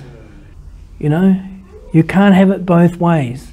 You are either led by the Spirit, your desire is to be Christ like, everything John was telling us, or you're not. If you are not one, you will be the other. If you don't, if you are not motivated to be Christ like, you will be fleshy. There's no neutral ground. The two war against each other in you, and if one if the good doesn't prevail, the other will. Now let's go on there. You are not to do whatever you want. So what's the first thing that freedom in Christ doesn't mean? Pete said it. Did you get that? You're called to be free. Those whom uh, those whom the Son sets free are what? Free indeed. Okay? But you are not free to do whatever you like. Your freedom is not that kind of freedom. So, what are you free from? Yes, perfect answer. Did everyone get that? Before you have grace, when you don't have the Holy Spirit, what choice do you have about sinning? None. You think you have free will, but actually you don't. You are enslaved to sin. Whatever you think you're doing with your free will, it will result in sin because the only choices your enslaved mind knows is which sin it's going to have next. Right? You are a slave. You're not free. When Christ frees you, you get the first time genuine free will. And I remember it this way I call it freed will your will is set free. You are for the first time able to actually make a decision to not sin. You know? You are empowered by the Holy Spirit to make right choices. He doesn't make them for you. You still have to make them. You know? But for the first time, you have the power of the Holy Spirit empowering you to be able to obey, which an unsaved person does not have. An unsaved person cannot obey God because they are enslaved to their sinful nature. A born again person has been freed, enabling them to make the right choices. Does that make sense? A freed will. No, this is my whole point. So the Holy Spirit doesn't force you to make the right choices, He enables you for the first time. The choice, genuine choice. An unsaved person has no choice but to sin. Which is why we're given, why God gave us His Torah yeah. to, to tell us what the right choices to make. Yeah. So God, the law and the testimony tell you, based on His Shem, He's revealing His character to you, so that you know what the right choices are, the things that please Him. Understand? But unless you have the Spirit, you can't make right choices. You are just enslaved to your sinful nature. We are not to use our freedom to do what we like. Why? Because what do you think you like? You know, let's face it, when you go grocery shopping and if you just have $5 and there's a banana and an ice cream, You make banana split. you know, Buy a banana flavoured ice cream. it all depends on whether the wife is watching. and that's exactly how it is with God being conscious of God. We want the ice cream. Your old nature doesn't lie down. You want the ice cream, but being conscious that God is watching. You, if you want, if your desire is to be Christ-like, to be His disciple, you crucify the want in order to do the better thing. Does that make sense? Which you are able to do because you have the Spirit. If you weren't a Christian, that whole that whole process wouldn't even arise. You would just be eating the ice cream because your nature would just drive you to the ice cream. You understand? Bit of an odd analogy, but I thought it was easy to follow. Where are we now? Get my right page. Ah, sorry. And then verse 18. And Davina hit this one on the nail on the head before. But what? What's that I put in the big letters there? But if you are led by the Spirit, you are not under the law. How many people will always, if you bring up the subject of obedience, you know, like deliberately choosing to make right choices, they'll say, Oh, you're being legalistic. We're not under the law anymore. Actually, that's not true. That is not true. If you're in church and you're religious, you can be under the law still. Why? What does it just say here? Read it again, verse 18. If you are led by the Spirit, then you are not under the law. What does that mean? If the motivation in your heart, though you claim to be a Christian and though you're sitting in church and though you're telling everyone around you, I'm a Christian, but if what drives you, what determines the work, is to satisfy earthly things, you are not motivated to satisfy heavenly things. You are not led by the Spirit. The things Jesus accomplishes for his disciples are not presently fully applying to you. Why? Because you are walking in the dark. You are not being his disciple at that time. You understand? The, to be able to say, I'm no longer under the law, even though I know we can argue we've never been under the law before being Gentile, but for the sake of argument, it's conditional. The only people who are freed from the curse of the law are those who are in the new covenant. They are living according to the commands of Christ. If you're not motivated to be Christ like, to be obedient to Him, if your goal is not Him, you've got a problem. So, again, the churches tell people something that's actually not true and they leave them enslaved thinking that they can do as they like and yet claim I'm not under the law, I'm free, I'm this, I'm everything else. They should read Galatians. They've been warned in plain language. Your freedom is not that you could do what you like. You know, Dan, eh? Dan? Most, remember Dan telling me almost in tears he visited Arise Church and he watched them all jumping up and down and they're having a little rock concert whatever. What really broke his heart though is when he saw them all down um, Cuba Street after church, all falling out of the pubs drunk. Well, you know, they're just exactly like, behaving exactly like everyone else at the pub after church. What were they using their freedom for? To just they just thought they were free to do anything because I'm a king's kid, I'm saved, I'm going to heaven, nothing can touch me, blah, blah, blah, blah, blah. But what, what is it that's driving their actions? Not a desire to please Christ, not a desire to be set apart as a holy people. You know? What motivates them is just to satisfy whatever their flesh wants. And according to the scripture, that means they are what? Self deceived. They are not in the covenant. Pete. Sorry, this just keeps coming back into my mind and it may be off track, but I don't think it is. What's the second commandment? When you say in the, of the Ten Commandments, the commandment of the Ten Commandments? You shall have no idols. no, yeah, no idols.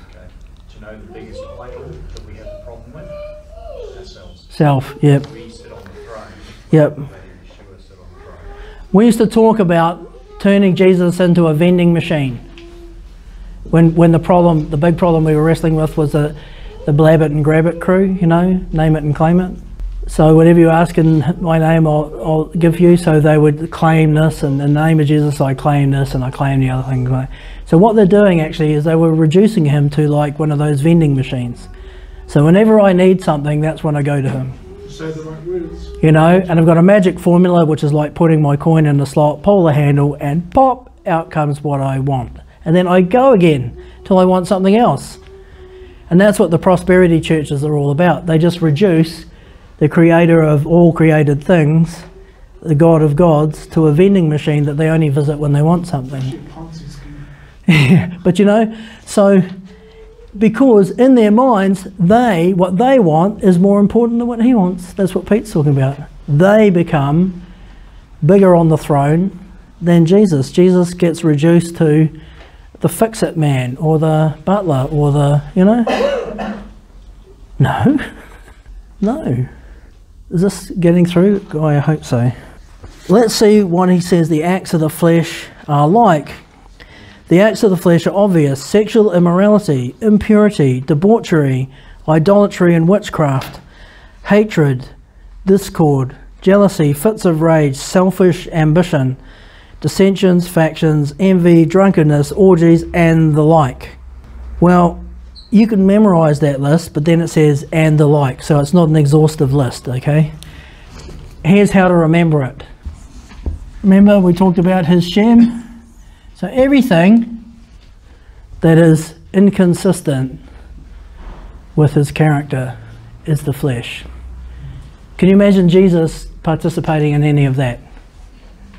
No. So it's easy, isn't it? And used to say, like Sunday school, if you want to know what to do, ask yourself, what would Jesus do if he was in it instead of me? Well, that's what you say to Sunday school kids, but actually it's like really wise.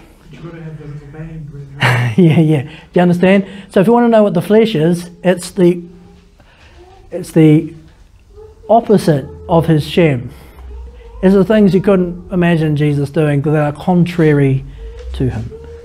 And contrary to his purpose in your life. What's his purpose in your life? To free you from being a slave to sin, to sanctify you, to present you to his Father holy, without blemish, without spot, a bride fit for God. So the motivations that take you in a different direction is the flesh, including those dramatic things on that list. Now for more positive news, same scripture, but the fruit of the Spirit is, let's read them out together. The fruit of the Holy Spirit is love, specifically agape. So that's the one that's to do with obedience rather than feelings. Joy, peace, forbearance. What does forbearance mean for those whose English isn't super good? That's perseverance. Forbearance is what? A willingness to be patient with those who are messing up. In other words, reflecting his patience with me. To forbear means to delay punishment in the hope that the person will come right and you won't have to punish them. To forbear. Carry on. Kindness, goodness. Oh, what does it say next? Faithfulness, gentleness, and self control. Ekrete, self control. Against such things there is no law. Those who belong to Christ have done what? Crucified the flesh with its passions and desires. Since we live by the Holy Spirit, let us keep in step with the Spirit. Let us not become conceited, provoking, and envying each other. What does crucifying the flesh mean? what happens when you crucify something? You kill it. What does Jesus say? I'm pretty sure I wrote this somewhere. Um, I'll probably come to it in a minute, but let's say it now. If anyone would follow me, they must they must take up their own cross. But if anyone will not take up their own cross, they are not worthy of me. You cannot be his disciple unless you've got your own cross. What do you need a cross for? That. How does your fleshiness get on the cross? You have to nail it there. It's an active participation in your sanctification. You are not trying to save yourself by works. You are not trying to be self righteous. That's what the grace only people want to try and make it mean. No, you are cooperating with His desire to sanctify you. You have a freed will that allows you, when you reach a, like a decision point, like a fork in the road, and it's like, you know, like in the movies, there's a little angel on this shoulder and a little devil on this shoulder going, you know, buy the ice cream, buy the banana, you know. You have to decide because your old nature and your new nature is what those things represent. And you'll be getting it in both ears your whole life. Slightly older youth in the room, like us, is that true? Has that stopped happening? You, have you ceased to be tempted by your old nature now that you're slightly older? No. It continues. But remember what John says? We have an obligation to him to be like him.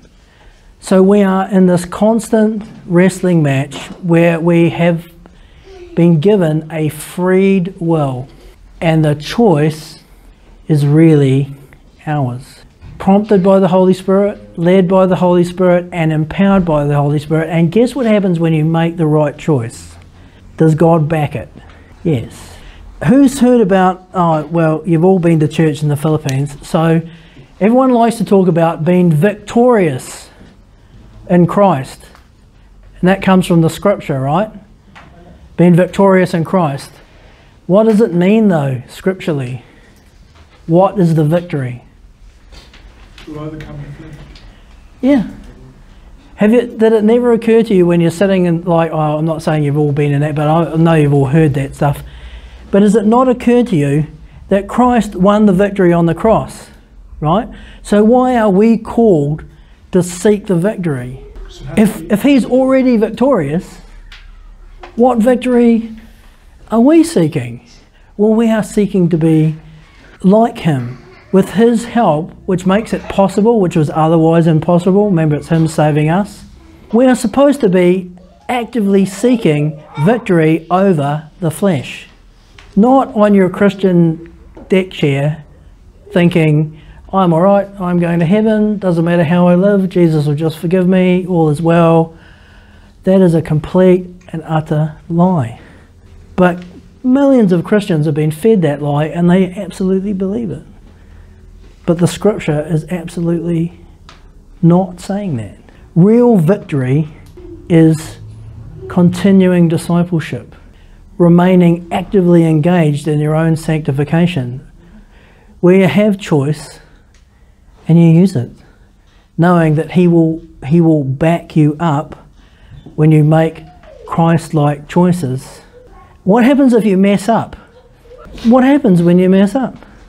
John, we talked about this, I think, two weeks ago. We repent, remember? If we confess our sins, He is faithful and just to forgive us and do what? Cleanse us of all unrighteousness.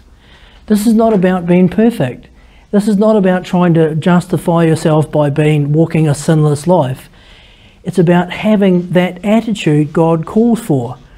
The one that is not content to live in the flesh. You understand? You will never be Christ like in this life, but you can cease to be world like. You're already not like the world, but you're not fully the reflection of Christ yet. You won't be till heaven. You're already a new creation. So you will always, as long as you're breathing, you will always fall short at some point. So let's get that clear. So this is not what God is saying that you that unless you are perfectly like Jesus, you're not saved.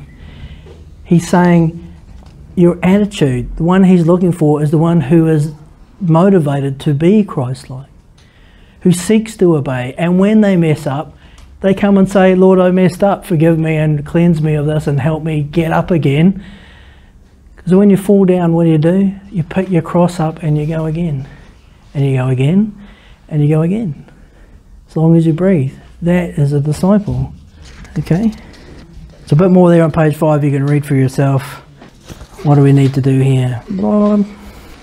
Can read that bit for yourself. I just want to skip over because it's eight. I want to skip over the things that you can easily pick up for yourself. Uh, okay, so On page 6, you'll see Matthew 16, which is what we just talked about, so you can read that. And then under it, Matthew 23, and he's speaking to the Pharisees. So you also outwardly appear righteous to others, but within you are full of hypocrisy and lawlessness. What is the problem that he's pointing out to them? Do the Pharisees have faith in the God of the Bible? Do they know the scripture? Yes. Do they teach the scripture? I thought I was back in Dangansora for a minute. Sorry. I didn't even know that was there.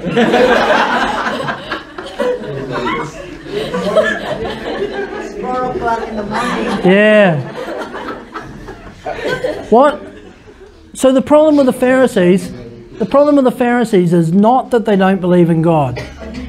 It's not it's not that they don't know the scripture. It's not that they don't teach the scripture because they did. What was their problem? You just read it there. They were only Christian well, we'll say Christian because that's the Pharisees, but it applies to us. So let's say it's someone who's only Christian in appearance. They know the words. You know, they can quote the scripture. So in a sense, they they can tell you things that are true. You know, so they have belief that is true. What's missing? They're not faithful.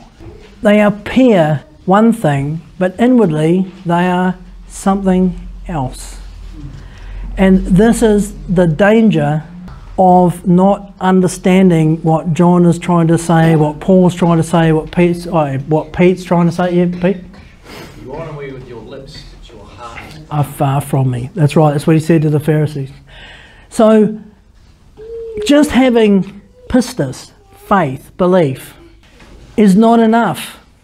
The Pharisees had that, but their actions, the faithfulness that you know what people saw, what people experienced, the the evidence of what the faith was didn't line up with what they said. You know? And that's what he says to them. You say one thing but you don't do it. Do you understand it? So what does it mean for us? It's not enough to know who Jesus is. It's not enough to even believe what he said. It's not enough is it, to even be able to tell these things to other people? Because it's all in vain unless one thing is there. What's that? Your faith has to be matched by your faithfulness. You mustn't be a hypocrite. Your actions ought to reflect that your faith is real. Otherwise, you're someone who knows about Jesus but doesn't know Jesus. Because if you knew him, you would do what he said. Does this make sense? And I'm not going to read the, the rest is easy reading, but I'm just going to finish the last page and a half there just quickly without the. What you'll read there in Second Thessalonians, and a couple other things. What's the biggest danger, probably for us, maybe even in our lifetime, but certainly in our near future? Who's coming that you don't really want to fall in the clutches of? The Antichrist, right? And what is in Second Thessalonians? He's given a title, the man of lawlessness, right? lawlessness. What do you think lawlessness means? Well, you could say it means without law. But what is, let, us just go to like ordinary English. If there was a lawless person in our community, what would, what's an easy word to call that? Someone who doesn't keep the law. So it's not that they don't know the law, it's about what they do. A man of lawlessness is someone who doesn't do what is lawful. It's not about knowing, it's not about belief. Do you think the Antichrist knows the scripture? You bet. Why? Because he's part of the unholy trinity. I'm not sure if you understand that. What happens in the end is you get a satanic mimic of the trinity. So you get an antichrist spirit mimicking the Holy Spirit. You get an antichrist mimicking Christ, and Satan acts mimicking the Father. So you get an unholy trinity mimicking the real trinity, right? The man of lawlessness, the Antichrist, do you think he knows the law? Yeah. The whole of God's law. Because remember, nothing Jesus nothing nothing Jesus says is not in the Torah. Nothing Jesus teaches is not already in the Torah. Yeah, yeah, there's nothing new in the New Testament. Nothing. So when we talk about the law, we're talking about God's instruction to man. Okay? So just like Satan in the garden, he won't give you a completely different thing, he'll just twist what God said. So you can be sure that the Antichrist, oh, when Jesus is tempted in the wilderness, what did Satan use to tempt him? The word of the Lord. Twisted. So the man of lawlessness, you can be sure he knows the law. He knows what Jesus said. He knows Jesus face to face because he's stood at the throne room of God. He knows Jesus better than us, right? But he doesn't do it. And he leads people into also not doing it. What do you think becomes the critical separation between the disciples and those who take the mark of the beast? It's not faith, as in belief, it's faithfulness. The people that take the that go off with him will still believe that Jesus is the Messiah. The problem is they'll believe that this guy is Jesus. Though they won't be trying to live to satisfy Christ, they'll be still trying to satisfy the flesh. What kind of message do you think the man of lawlessness will be giving them? The one you just heard here? No. It'll be, no, no, no, no, don't listen to those legalistic people. You are saved. Doesn't matter what you do, Jesus will just save you. God doesn't mind that you're doing this, that, or the other thing. Go ahead. So it sounds like God speaking, but the message is not God's message.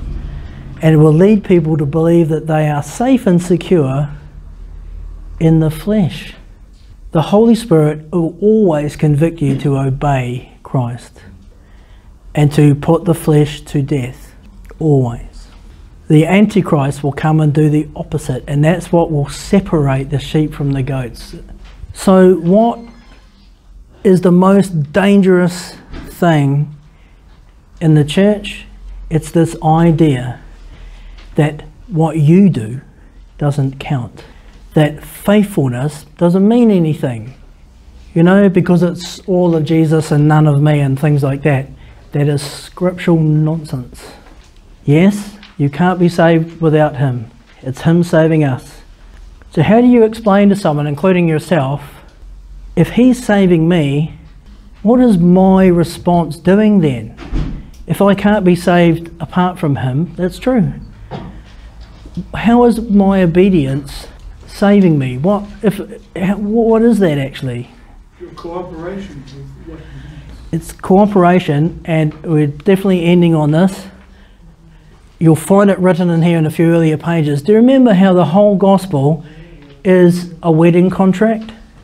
Right? And I apologise because you have to get Faith to explain to you because you won't have heard this. But remember, you're only betrothed, right? The wedding's not till the kingdom. You're only betrothed. So you are in a betrothal contract in which all the terms for the wedding to come and the marriage are set out.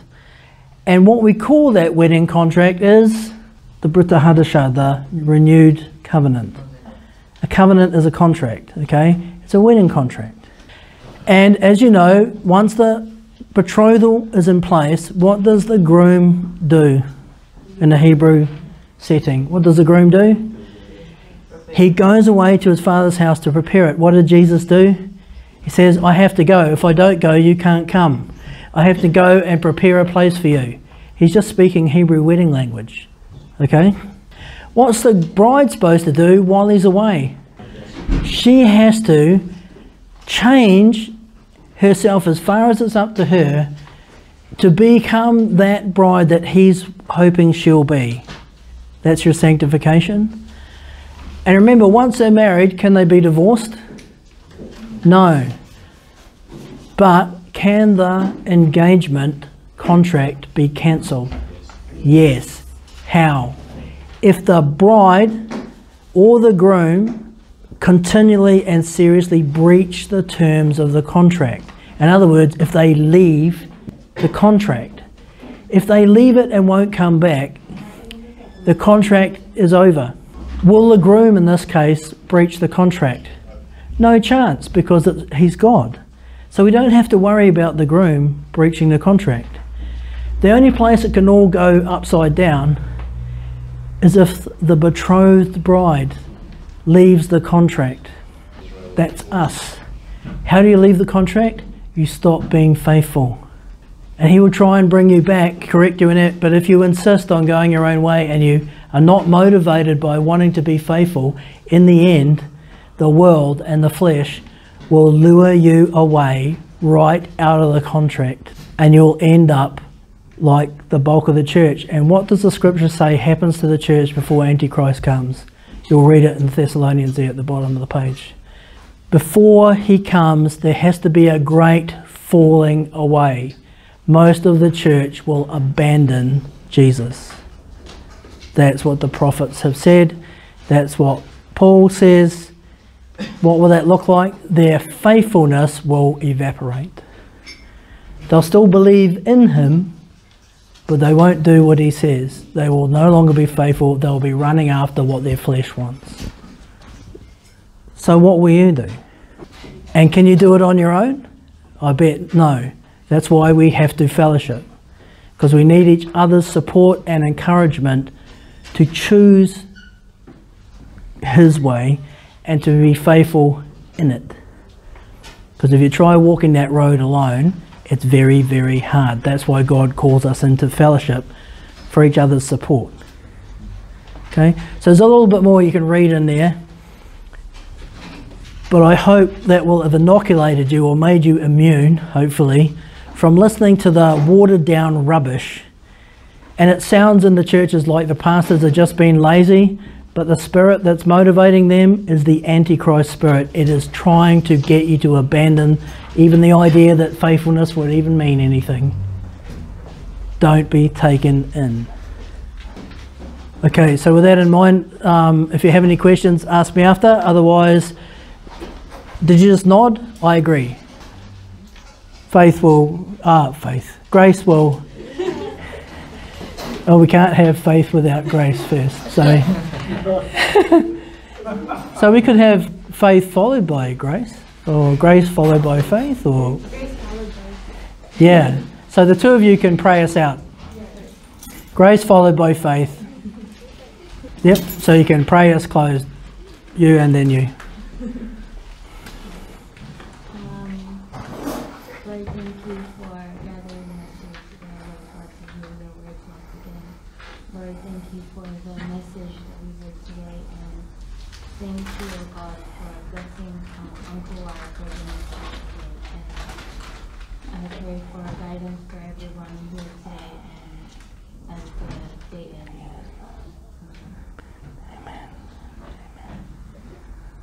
Lord, just want to thank you for tonight, Lord. Thank you for um, everyone who is here, Lord, to hear your word, Lord. Um, I just pray that um, we all can try to continue to um, have faith in you and be faithful, Lord. Um, help us to be obedient to you, Lord, and that when we are struggling with sin, Lord, that um, you can you convict us with your Spirit, Lord, and that um, that we'll continue to have um, that sanctification, Lord, and um, no matter what happens, Lord, as the days are getting worse, um, help us to always seek you first, Lord, and to always read your word, Lord, and not to um, listen to um, this world, Lord, and just to um, pray that our goal is always um, to be with you, Lord, and just wanna um, um. Um, amen. Amen. Double amen